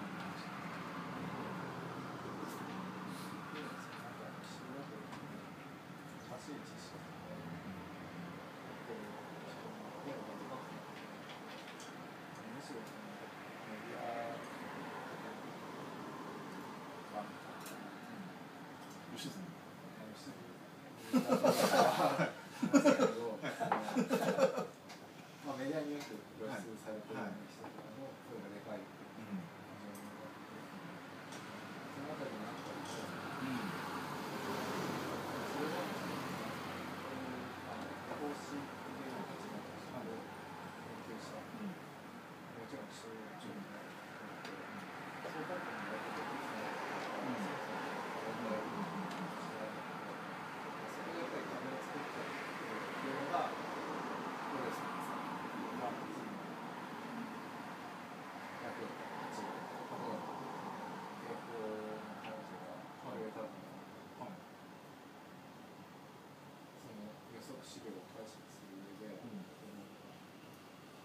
象予報士は、うん、そのリアクョンメカニズムがそもそとして新しいものし、うんまあ、そのその立場はそれで、うんまあ、それをその本当にその情報が正しいのか、うん、自分なりの解釈してその上で発信してる人がいるかっていうと、うん、多くはなって、うん、その新しい最新の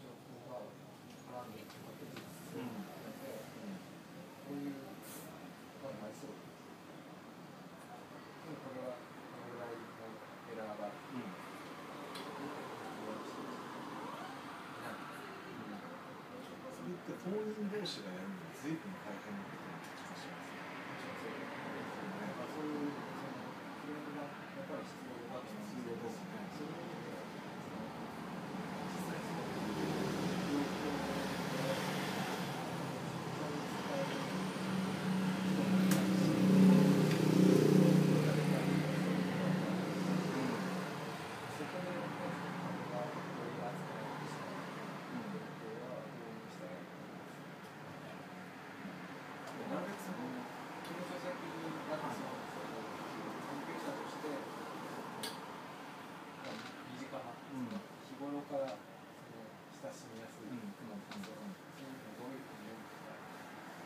ベースにして、日常から、うん、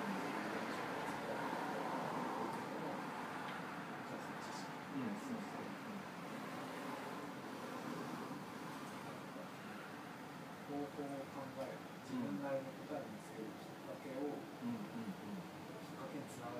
げるように。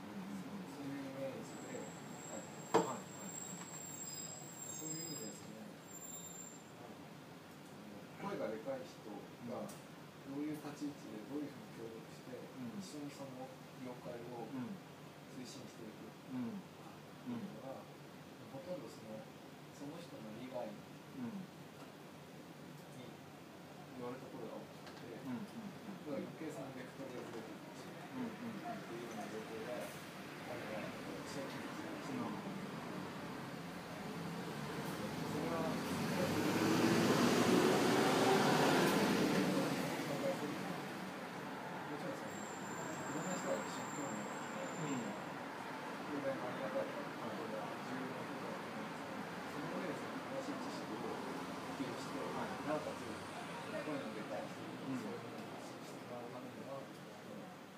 ケーションを通して、その上でい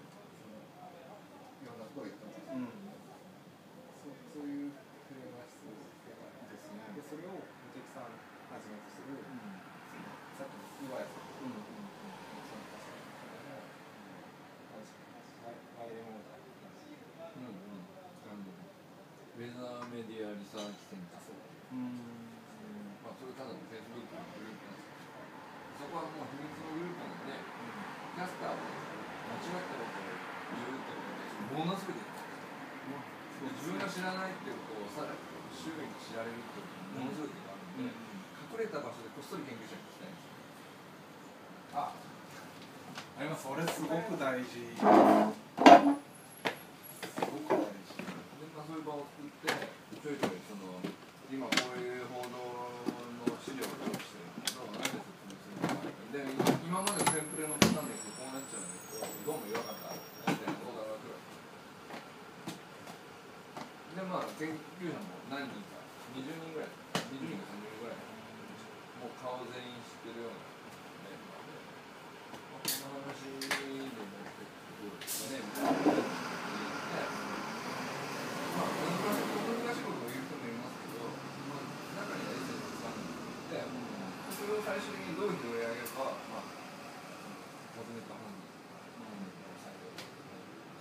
省庁の人っていうのあり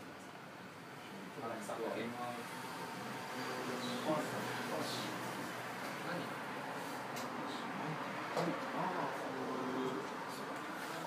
そこそんぐらい入っててもまだ断絶そこの中でも断絶はありますそれともその人たちとは結構気象庁と気象予報士のああいい感じでコミュニケーションできてるな感っ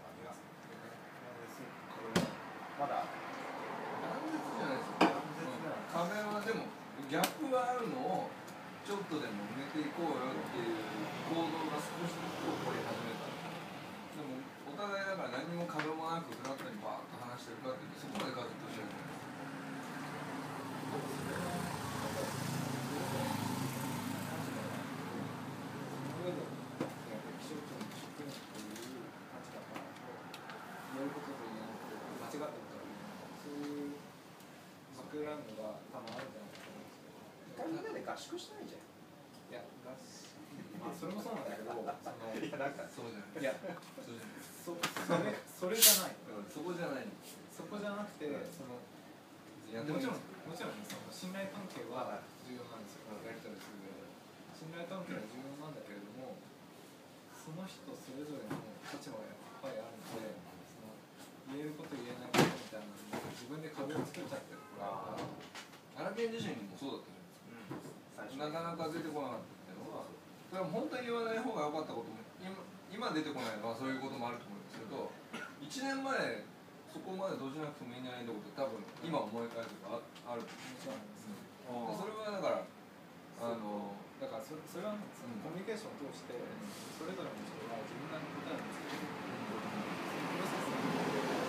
スダッピングプロセスなんでしょ深い、がないでそのダッピングをどうやって流していくかですねで結構そのネットだけのつながりってやっぱり脱皮するには弱いなっていうあもちろんそれはそうですだから実際あって話をしてその上で信頼関係を作った上で上でィをするっていうのが一番重要ですよねなぜ口を閉ざしてしまっていたんですかその時1年前の1年前はそこはね大事かもしれない、うん、なぜ今脱皮を遂げた今逆にそう見れるのは今荒研しかいないそんな日韓のわけのわからないで中に気象庁の荒木というのはこういうことを言っていましたよなんて一文鳥されたら困るからじゃないですかやるとそいそどなんでそれ行こうこっちからですねもっとたくさん引っ張り出しやっぱりそれはなんか日頃じゃないですけど、コミュニケーションがやっぱりベースだんだんそうやっぱり脱皮のプロセスちょっとずつ脱皮してるその大丈夫脱皮をしていく中でどのぐらいまで、まあ、ぶっちゃけていいかみたいなところに、まあ、今はかなりぶっちゃけてるそれもあるけどぶっちゃけるために必要なエネルギーこれだけある今でもねあまあまあそれはいいとしてねなんでどこま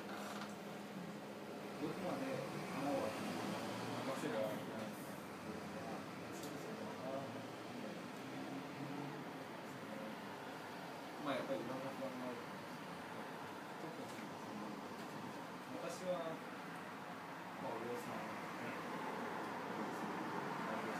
ななんでなんでイントネーション言い直してょうりょうさんりょうさんも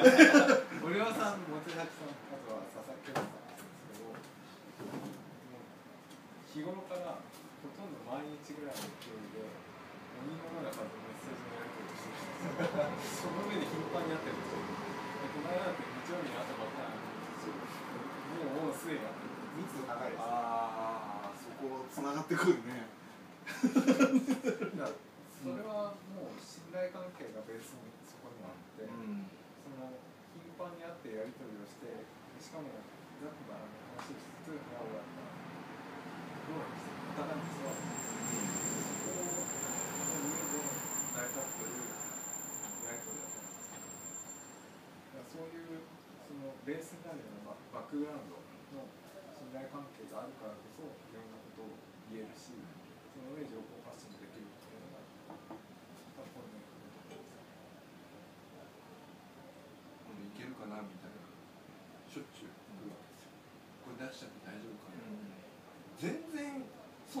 ちいち聞かないと出せないのみたいな話だったわけです最初本当に。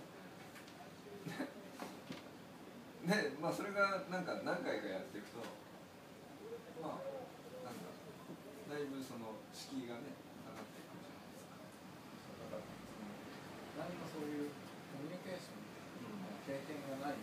ん、けれども正しい知識を持っている人にとってはどのぐらいの距離感で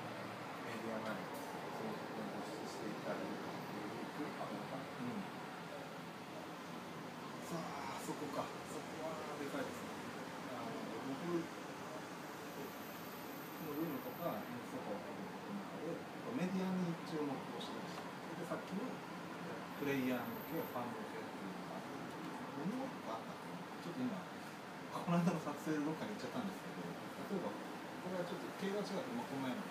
批評雑誌っていうのがあるですね、これは97年のインディーズ、えー、シーンを振り返るという、えっと、これを書いてる人はミュージシャンって何でもないですけど、評論家です、ね、レコードコレクターズの評論家ですビートルズ、えー、アルバムを全曲解説します、うん、そういう外部の解説者というかでそれがあのこれは正しいとかこれが本流とかってくるわけですね。なるほどこのこのバンドの流れはあのなんとかでしたとかそういうの解説してたわけでそこの辺がちょっと足りてないな、うん、学術のと思ってます、うんうん、学術をやってるやってない人による発信っていうのが少なくて、あのやってる人たちは一生懸命やってるんですそれこそア明ンさんとかもまさにやってるしあとそれを、えっと、同じようにやってる側として外に発信する人もまあ頑張ったそれは気象の人ですけどやってない人側がちゃんとやってなんでそんな近いそ んな近いしかも怖い怖い怖い相当面白いけど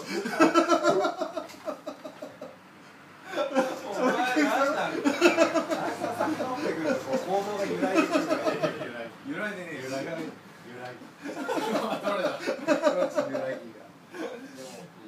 イエンスの分野でそのこれが本流だとかっていうのって科学史とかってちょっとだいぶ古いけどそういうことやってますんやってるかもしれないでもしかしたらその論文とかってそういうのもあるのかもしれないけど、その流れが正常的な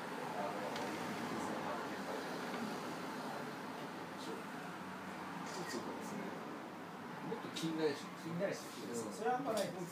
でリアルにその人が今いるっていう状況の絵を描いた方がその今の街にそういうと思う月間に取り取ってそれができる可能性のあるメディアまあでもそれはパイがちっちゃすぎますけどねうん何の波紋も起こさないので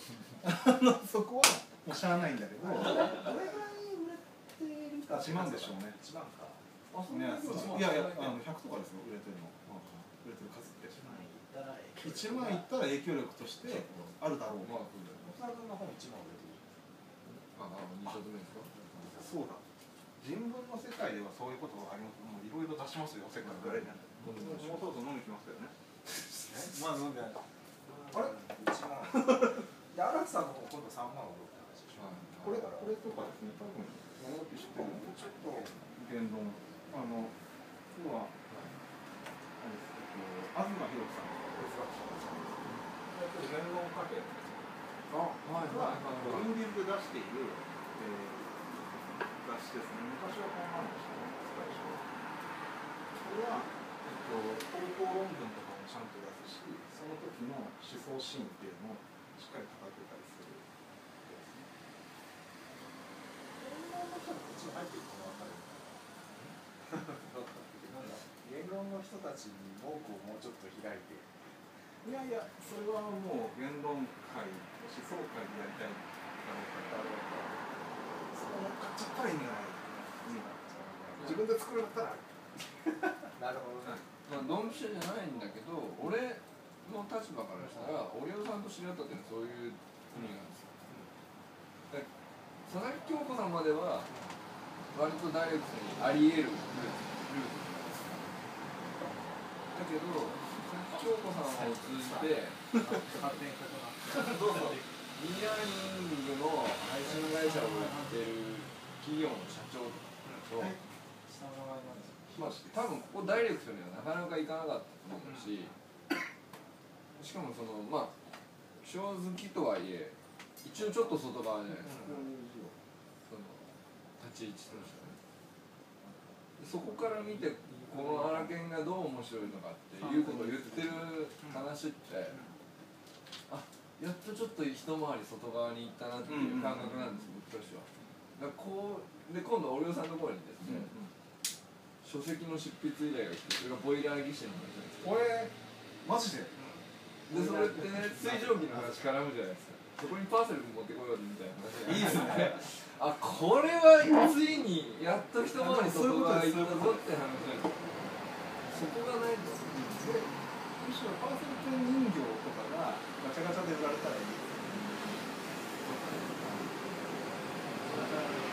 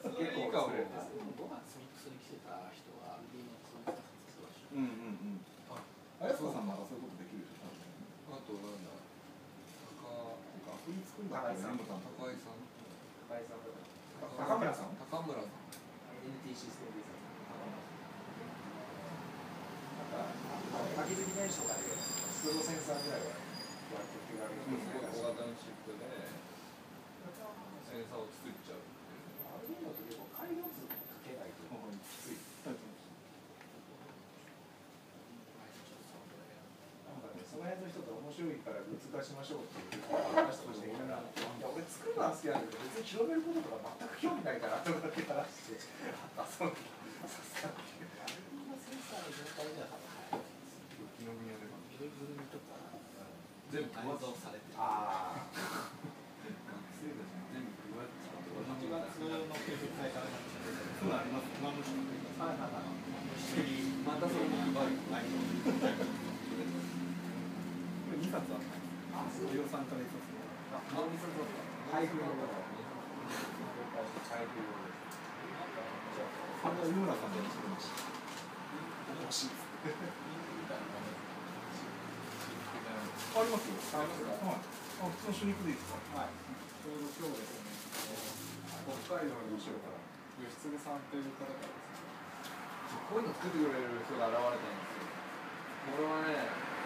パーセル君観光。パーセル君観光は長い。どういうことそれ量産できないかな。これと消しゴムハンコだ。消しゴムハンコと、あとこれまだまだ押したことないんですけど、スタンプ代じゃなくて主主任君になっちゃっていいんです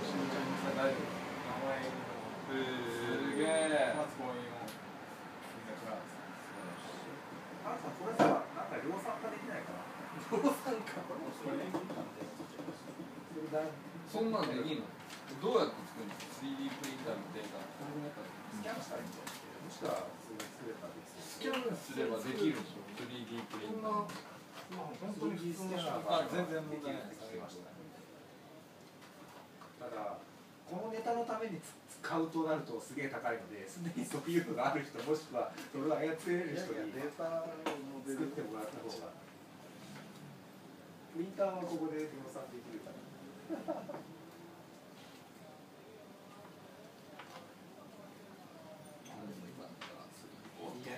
あ、へこんでる。へこんでるな。どういたしましょうか。時間が、時間必要。あ、面白い。面白くない。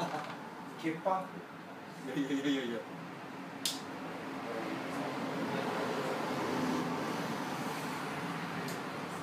いやいやいや。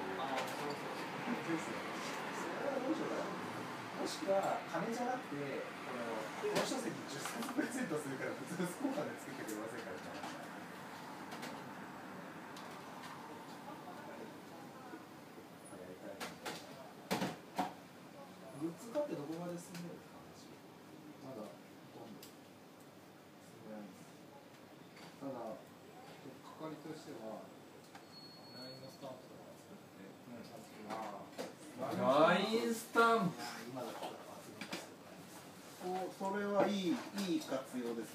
ですねその上で、まあ、Facebook や Twitter などで4コマ漫画的なその書籍の内容に使うようなところを出していってその上でそういう社会のと出版社の人と基本的にそのイラストデータってイラストデータってどこまでんですか素材集にして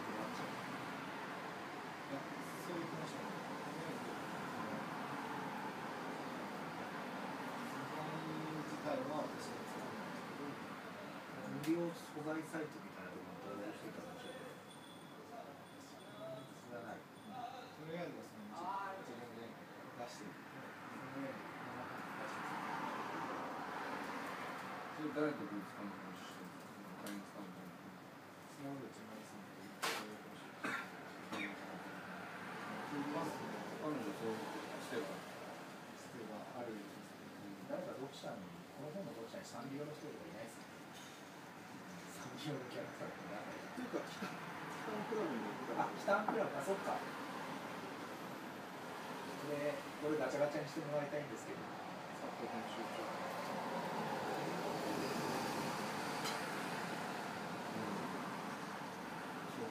頼んでもいないのにこんなハンコを作ってくれる読者が現れっていうのがこの本のブレイクスルーなんですよそうですそうですその頼んでないが超重要、うん、そうなんです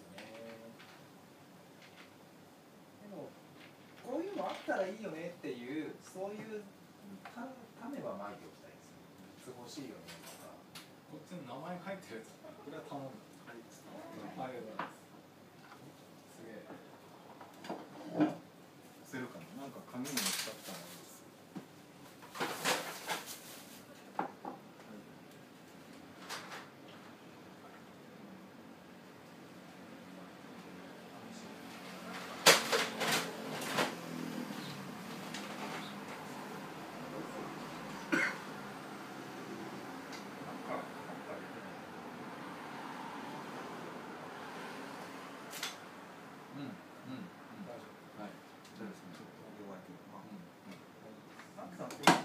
これって絵本化したりしないだ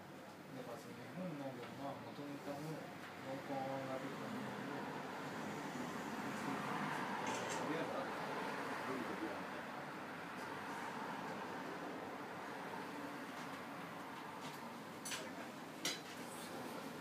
図書館とか本の寄贈って普通に受けてくれるんですか入れてくださいって要望だ絵本になったら全国の図書館に置いてもらうとか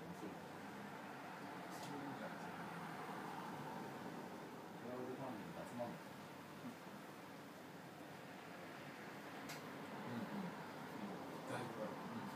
そうクラウドファンディング集まるうんうん、うん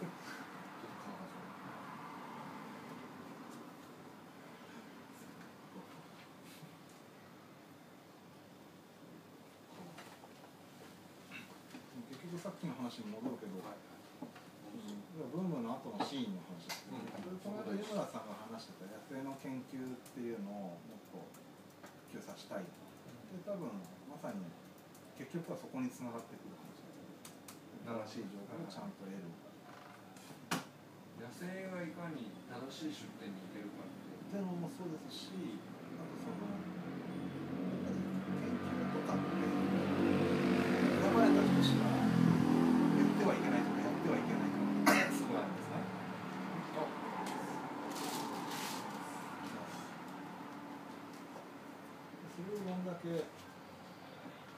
少し門戸を開いてあげる、うん、で門戸開いた時によし EM 金やろうぜとかってなっちゃまずいよね EM 金とかそのいやとんでも科学を助長させてもしょうがないわけですよ、ね、その時に必要になってくるのってそん、やっぱり正しい批評メディアをどっかにそのそういう判断基準があるといいですよねどの分野にもあることだと思うんですけど生物学だろうと気象学だろうとありがとうございます初です初ですねまさかアクリル絵の具でやるとは思わなかった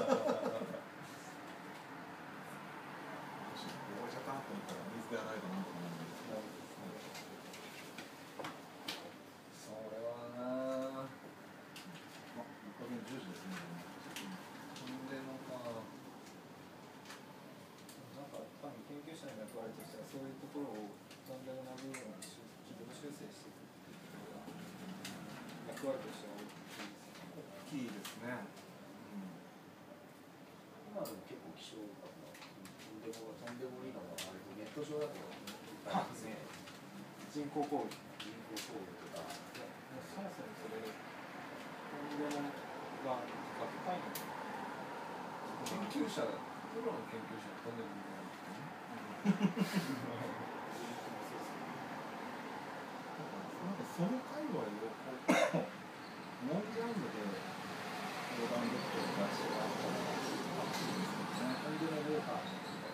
果とんでもある排除ですよ。あとんでもあそ排除じゃないけど、その、これは、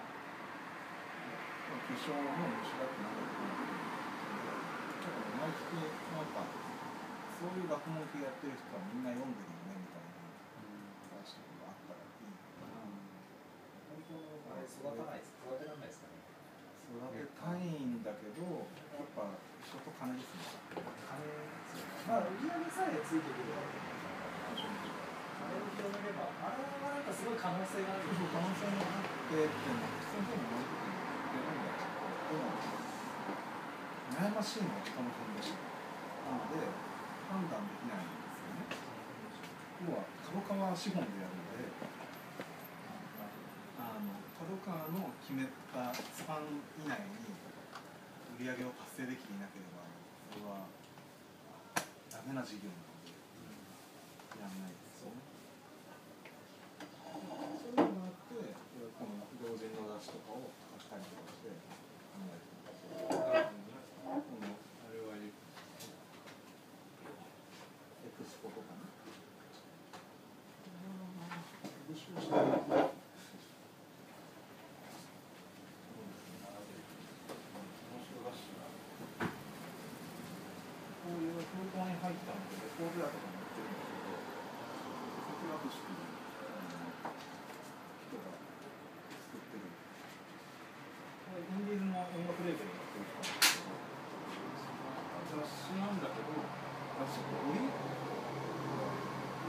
ペ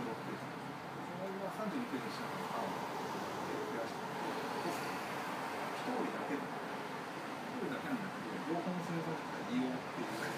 て、1人だけ1人だけなんだけど、両方の利用っていう。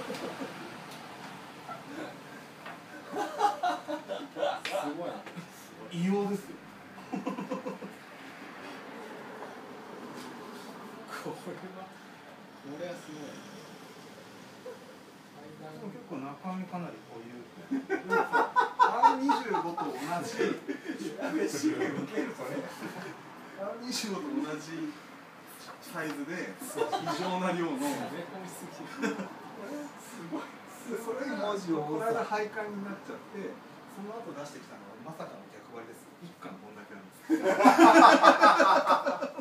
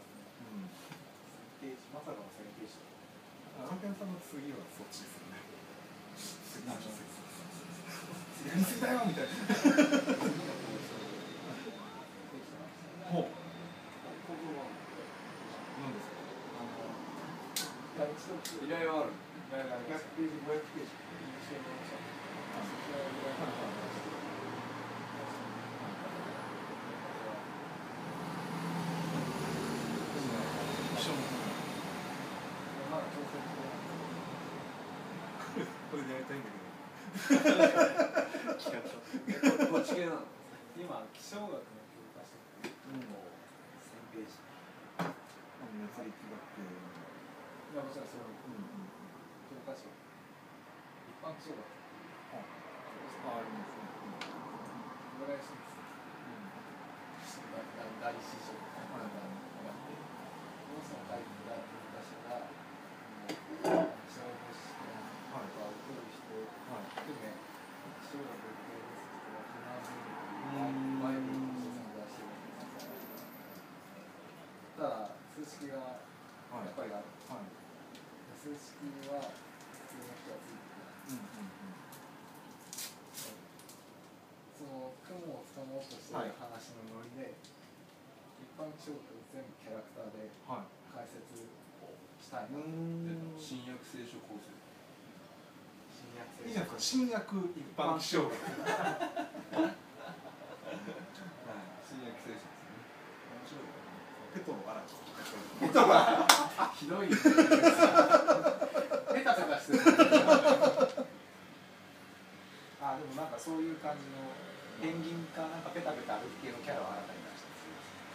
新キャラはね、音が、どうかどうか分からない適当に言いましたよ、今。すごい、手とわらぎってなんか、勉強みたいな、俺の中ではひらめいた。天使みたいに言えなそうです。気象芸人みたいなやつですよね。でも、ほら、今のやつヒットしてるから、この次はいろいろと、こうじゃなきゃ書かないと文句、ね、いろいろわがまま言えると思うんですぶっちゃけ、なんぼ売れてますまだ23でも3ここで増刷できましたね最初3500で、うん、2 0 0 0 2 0 0 0今はすでに在在庫がない状態お3000円まあでも23年もさっさとはけはかしちゃいましょういろいろ直したいところがあるまあまあだってリスよりするの少なくしたんだと面白かったなまだ読み途中なんですけどあのそうそうその例えの話もそうですけど荒研さんの読者への指示がちょこちょこあるんですよね、うん、あんなにしましょう、うん、その指示がいちいちちょっとどうでもいいというか大きなプレッシャーを感じるとパーセイ君は熱くなるとイメージしましょういやそこなのってその先生が指示がいや、いいよねそれ本当すごい世界観だと思うんだよね、私個人的にこだわりがあるのは渦中毒の人に対するメッセージはいはいなんす渦中毒ってあのカルマンズはいはい第4章ねはいはいカルマンズカルマンズではいあの衛星写真があそうですこれこれはいの世の中にはい、これね読んで突っ込みましょう中毒の人たちは渦をひたすらるんですよ、で大体そういう人たちは渦の力学が好きで、はい、あの完全に支配されてる人たちなんですけども、単純にその渦を可視化されてる様子を見るのでも、はい、エクスタシーに達してしまうという。カルマンゼレツなんか見た日にもうもうもうあの感じです、ね、アルコール中毒とかの人たちをなんだっけ治療する集まりとかのことって何て言うんですかああいうああいうのセラピーじゃなくてああいう了かそのかっこいい英語なんかありましたよね何て言うんですかね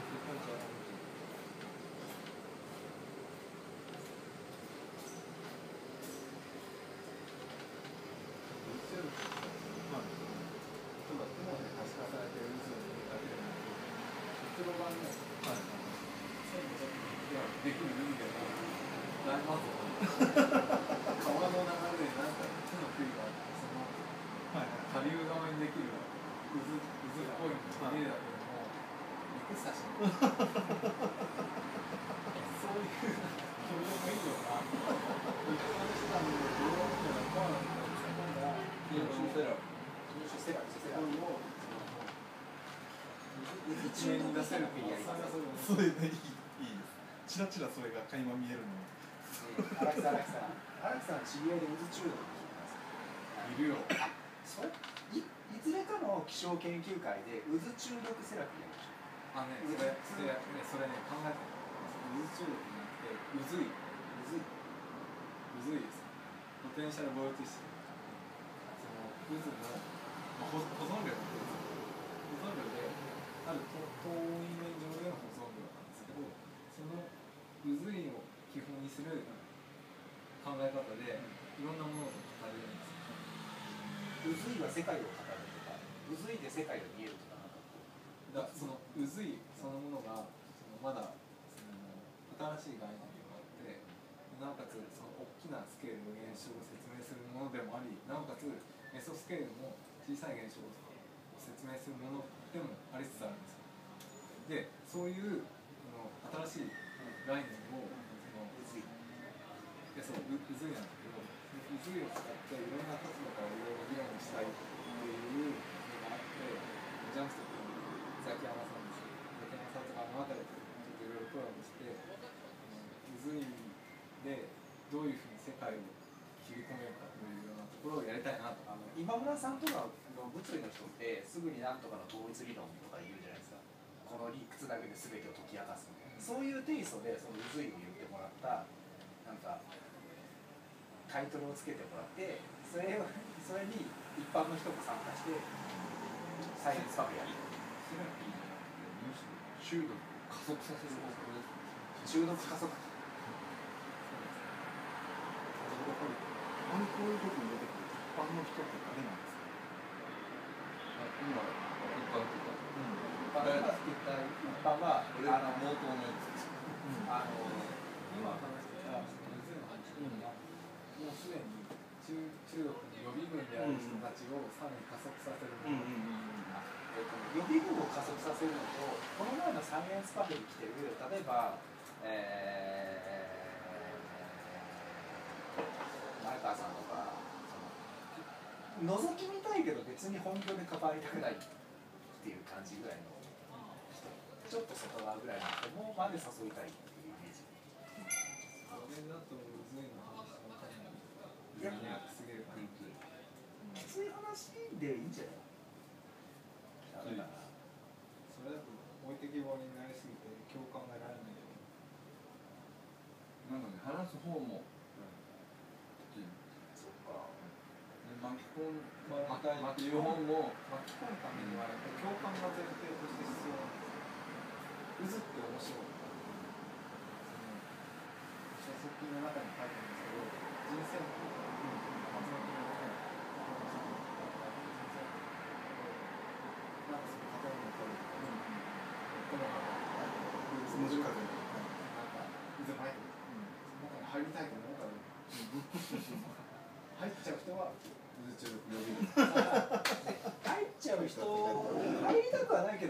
人は面白いなっていう共感は得られそうな気がするんだけ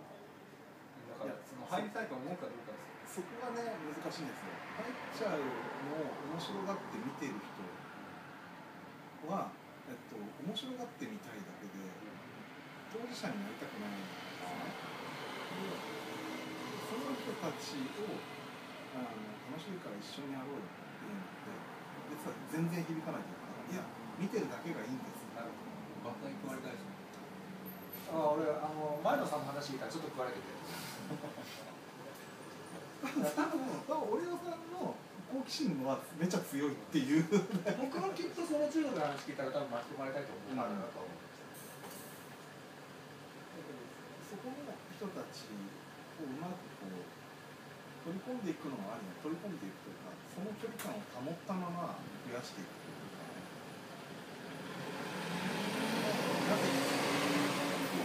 らは投げ銭くれるんですよ心地よい距離でいいからで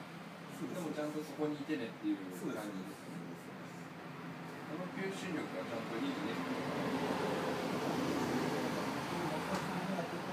の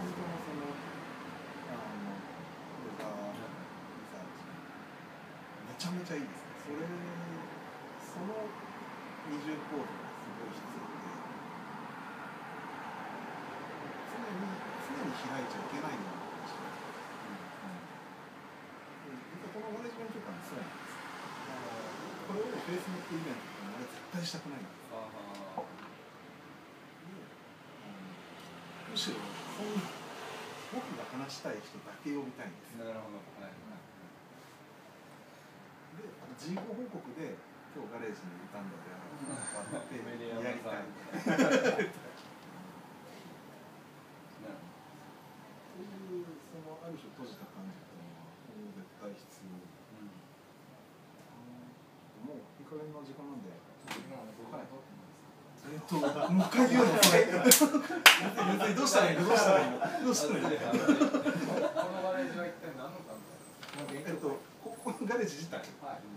このガレージ自体は、えっと、僕の僕の好きな人がふらっと遊びに来て自分の仕事ができる場所です、はいはい、なので山田さんとかは、自分の仕事しにきま特に 中井さんの何やるってわけじゃなく黙々と来て普通にやってるとこっちにとってもいいわけです一人でとか大丈夫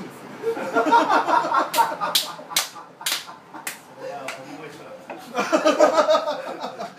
だからに来ればお互いガレージに来るとエロ動画見ないですっていう場所ですお互いの抑止力はそう核抑止力が人のオフィスで見れるそれずぶといよね急に実はここでめっちゃ何しに何しに来たリンコ食ってみたいなでもとにかくここに集まるのはいいとして、高井さん今何を持ってます逆で逆で逆で何帯ですか帯が帯が逆これは荒木健太郎さんの雲の中では何が起こっているのかという雲の中では何が起こっているのか何が起こっているんでしょうねまだ、はい、雲をつかそこを読んつかもうとしている話ごちそうさまですはいこれの、ね、ちょっと感想を言った方がいいんですかはいじゃあ軽くお願いします、はい、これは面白い面白いですけどあのこのね荒木先生の読者への問いかけがいちいちどうでもいいんですいちいちどうでもいいどうでもいい問いでしょう例えばですね近いよ近いよ近いよ近いよ本つってない本つってない伝える、うい。やっ大きなプレッシャーを感じる原瀬君は少ないとイメージしましょう。ハーセル君のパーソナリティは結構どうでもいいんです。ーセル君本当どうでもいいですか？ハーセル君を知ることが一生を知ることにつながるのかもしれないんですけど。やばいぞ。やばいぞ。店員さん、店員さん。大丈夫です。ごちそうさまでした。ありがとうございました。高井さんによる、えー、雲の中で何が起こっているのか、雲を思って知る話の失敗でした。ハンコも。そう感いです、か。あ、これは今のところ世界に3冊しかない。はい、そうですよ。これが押された。はい。これがなんと明日マンダラケに売られるってどういった。意味がわからないと、そのマンダラケの買取額で荒研さんの今の。じゃあドがそれはこれ一緒に売る予定なのが、えー、ときめき昆虫学というどっちが高く買い取りがつくかやりますねメリというわけで、はい、高井さんによる、はいえー、紹介でしたはいありがとうございましたはいね、それね俺ちょっとマジでやってみようかなと思ったからそのわざわざ、うん、わざわざアマゾンとか荒木さんとかが高く仕入れて安く漫だらけとかに出してこうなんかこう新たな販路を開拓みたいな。えこんなところに売ってるのっていう絵は見てみたいけどこれなんで俺そんな出血しなきゃいけないのかなとかどんなに効果あるんだろうっていうところでやらなくていいですね 無茶ぶりして申し訳ありませんでしたいや全然全然これ今のフェイスブック上でシェアするいや別にあの全世界に入れていただいて、はい、僕はガレージでロボが見てるんだということは。いや見てない。二人いれば。僕がいない時は出て可能性がある。ありますよ。どんだけここにいると思ってる。ありますね。まあでもフェイスブックイベントにしたくないっていうのがね、わかる、うん、非常によくわかります。そういう場は引く。開いた間と閉じた間って両方プロデュースしていってた、うか、ん、いるんでしょうね、確かに僕らもさ結局あのサイエンスパフェのフェイスブックスレッドとんですよ、うん、何気にちょいちょい誘って通過してもらうぐらいのだけなんですけど、そういうのまあいくつもありますけど、うん、残るのってないじゃないですか、うん、だからそのある案件が過ぎたら大体消えてきますね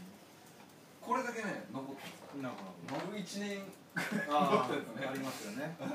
でなんかその今までのやつ最初どれだっけなってもちろん残れないし、う2万件ぐらいメッセージしてる 例えば数日追ってないだけでもうだいぶ浦島太そうでなんか一晩一晩寝た寝て起きたら荒研と佐々木京子がで徹夜で数百件数百件メッセージあれやって前ら何がそれはねあるあるあるあるわ今追いつきましたねで俺は追いつく気全くないんですよでもなんかそれがないないですか、まあ、僕大体三件ぐらいしますごめんなさいでも見えてるからです要するに捕獲できるんですよ僕は外装できるんですどうせ君らが言うようなことは今日このスタンプを選んで展開からしてんだ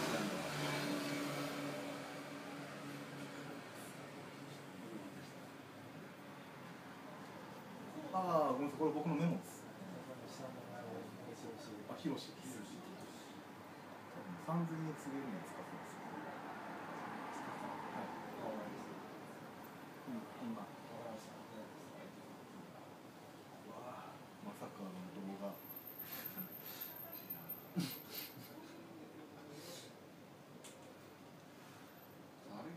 かどうかはなんかその団体が伸びるかどうかの限りのような気がして、うん、最近なんか MRP とかと話してるのは雑談についての話をする、雑談についての雑談の効用ってことですかそうそうそう雑談がすげえ大事なんだな、うん、だけどあの前回やったシンポジウムのとっても偉い先生打ち合わせの時に急に冒頭に僕と最近はあった話がすごくまあ、超つまんないのとあの他の人にとっては何も関係がなかったりするんでみんななんかありがたい話として聞くわけですね70分ぐらい、うん、その間に僕のやる気をもうほぼ全て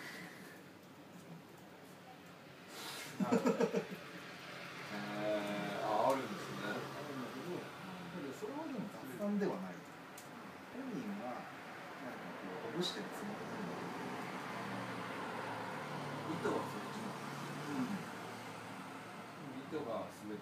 そうそうそう、う意図としては多分みんなをリラックスさせてアイスブレイク的なことをしたいんでしょうけれども、ね、そういう計算されたなんだろう前置きみたいな話、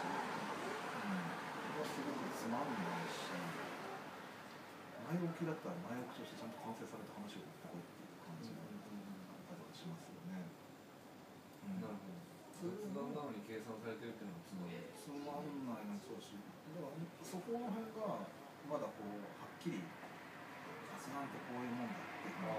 言えないでしょ監督ならそういうシンポジウムの冒頭の雑談って雑談風ですけど話題が一方通行じゃないですか、完全に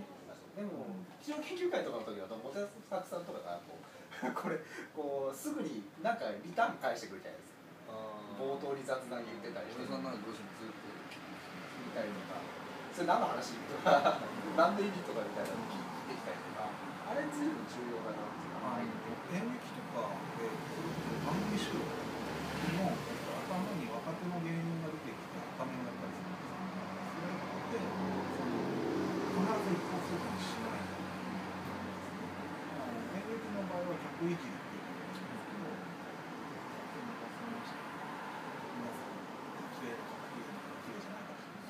そういうよくあるじゃないですかだけど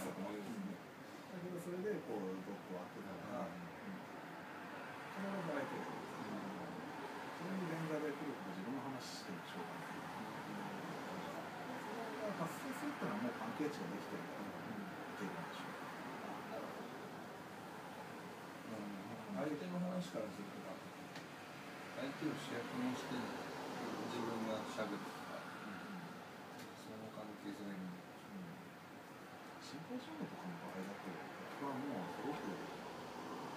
く映画的パッケージとして作り込んでいいような気がしますね、うん、ちゃんと安定してちゃんと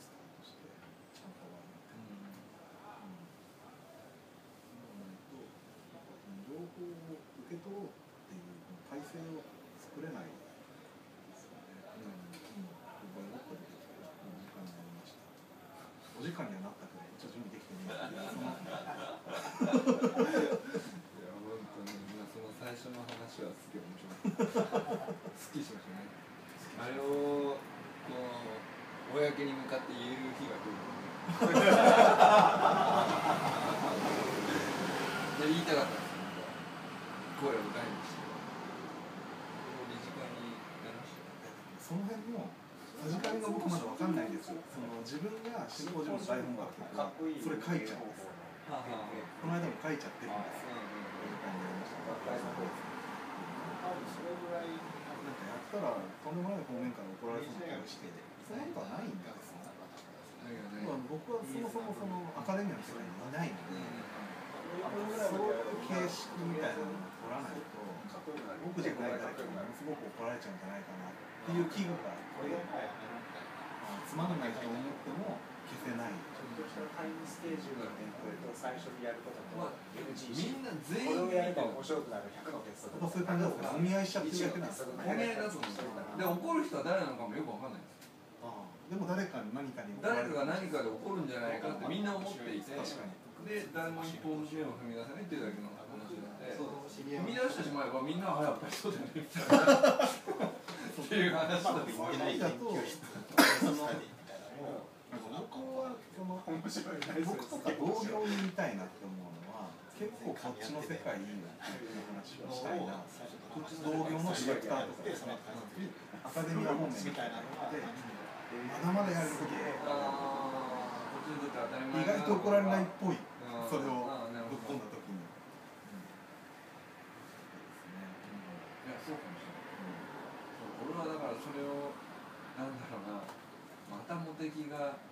ね目指したくてやってんでしょ的なノリになっちゃう別に俺は怒られたっていいやと思って、でもその方がいいと思ってやってるからやってるんですけどまあ一部の人たちはどうせモデルは目立ちたがり屋だからやってんだろって言からよかれと思ってやってるからお前が目立ちたいんだよ、う見てるんだけど、まあ、それは気にしなければ全然いいんですけどや何だったらもうちょっと第三者的なちょっと距離の人からプロデュースかけてくるぐらいの方が俺は最終的にね、俺もやりたいけどそういううがった見方をしちゃう人にとってもその方がいいんじゃないかな、うんうん気はねしま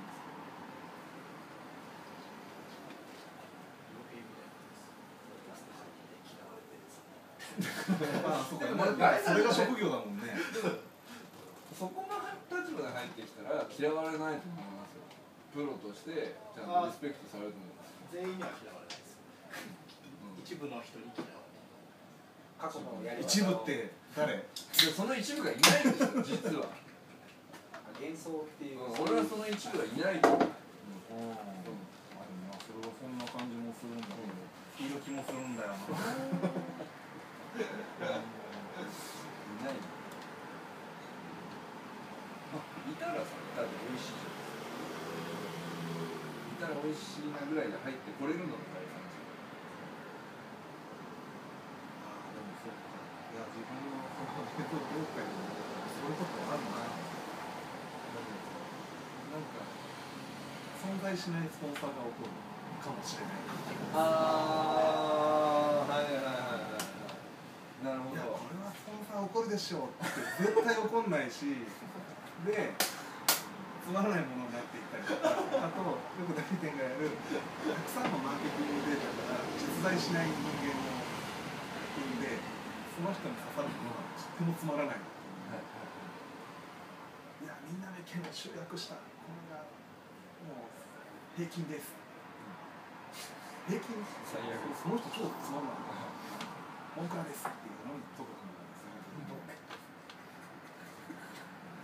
いいですね。受けすぎですよ。いや、そこまではっきり言わない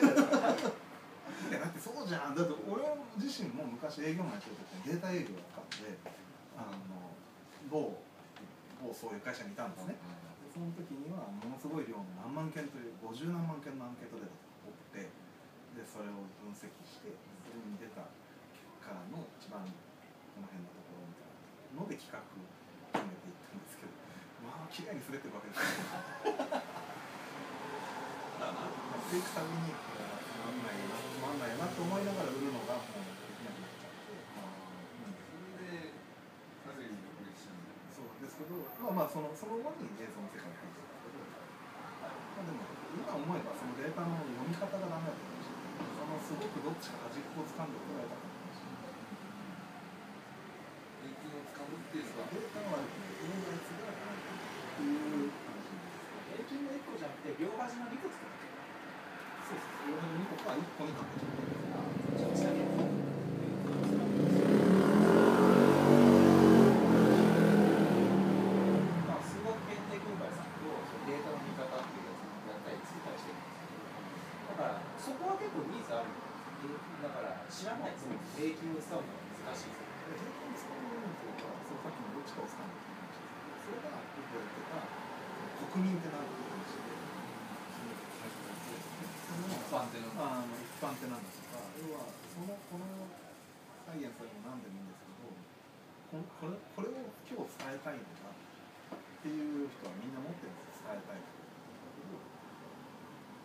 人にこれを伝えたいんだまで言える人がすごく少ない、うん、さっきの渦の話なんかははっきりしておくんですよ、で僕はそれでいいと思っていて、みんなが満足するコアな人も知らない人もちょっと知ってる人もみんなみんなが満足するそれはつまらないものなんですであれば一個一個面白いものをやればいいだけのいましてそこの手間をサボって回に何かできるのんなに甘かない甘かないしこの立場になったらすぐやっちゃう俺の知りたいことっていうのが分かる本が面白いでそれをバンって言っちゃっていいはずなのにどうしてもやれないのかなその大きなシンポジウムだから万人率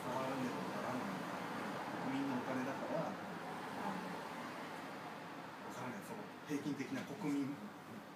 に報告せねばならぬのかっていうのは何だかしら100人いる中お前ら2人のために100人分の税金を使ったよっていう方が、面白い。その残りの98人も後で分かるよ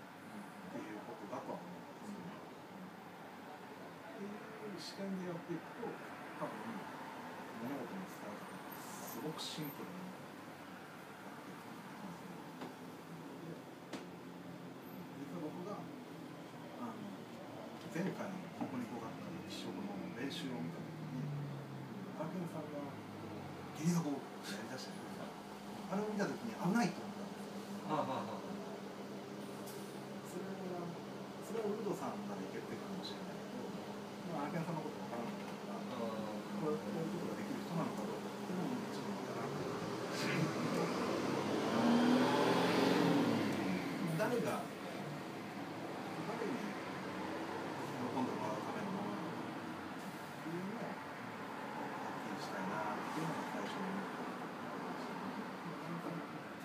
結果的にはですか結果的には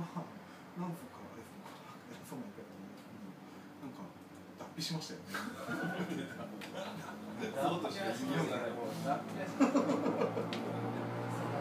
し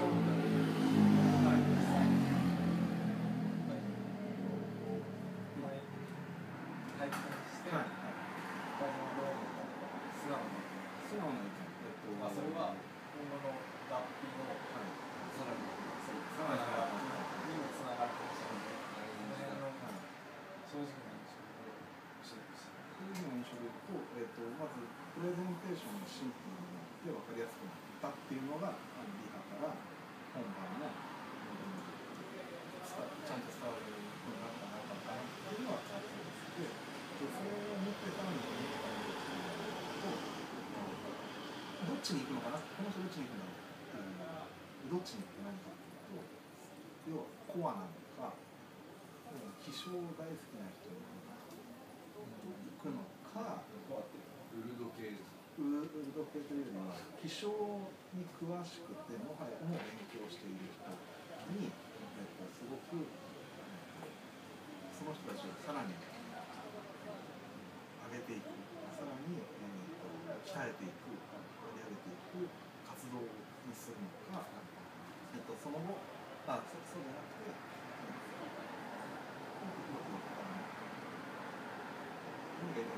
見た目が超良かったです。これは女子ファンすげえ作ってます。ということはアイドル化しちゃう可能性もあるので。形としては、えラ奈良さんがってることを知らないけど荒研さんが好きな人がいる。気象とかなんか難しいことやってるかっこいい人です。かっこいいから好き。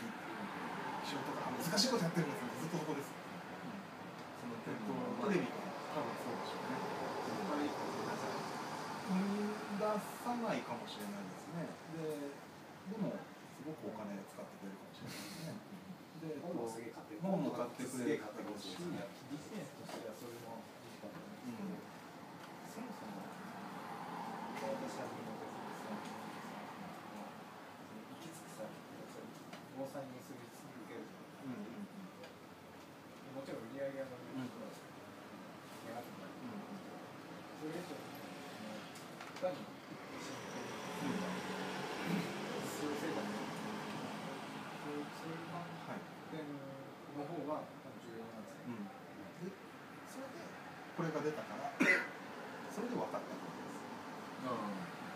まではその2つののどっちどっちかなと思ったけどこれのスタンスがこうだったからその難しい方程式を読まなくても教えてくれるんだっていうのが僕は思ってたら荒研さんのどこに見てるかすごく大きいあともにゲリラ豪雨を隠したい。表現は誤解もあるなので、もしかしたらアーケードさんの研究開発した何かすごいシステムで、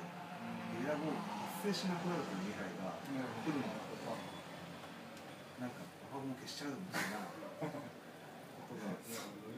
が、言い過ぎですけど、でも、っていうことがあるのかな。それは予測できず備えられるということはゲリラになくなる、文明を変えようとでそれは分かったけど読み解くにはちょっと力がいるなって思いました、そういうなんかこうあのレトリックというかそういうあの例えみたいなものを分かる教養がないと、中学生とかには多分「ーケンさんってすげえ」どのに「あ健さんってすげえ」「あの雲消すらしいぜあの人」ない話じゃない。大きな勘違いですね。うん、それは要す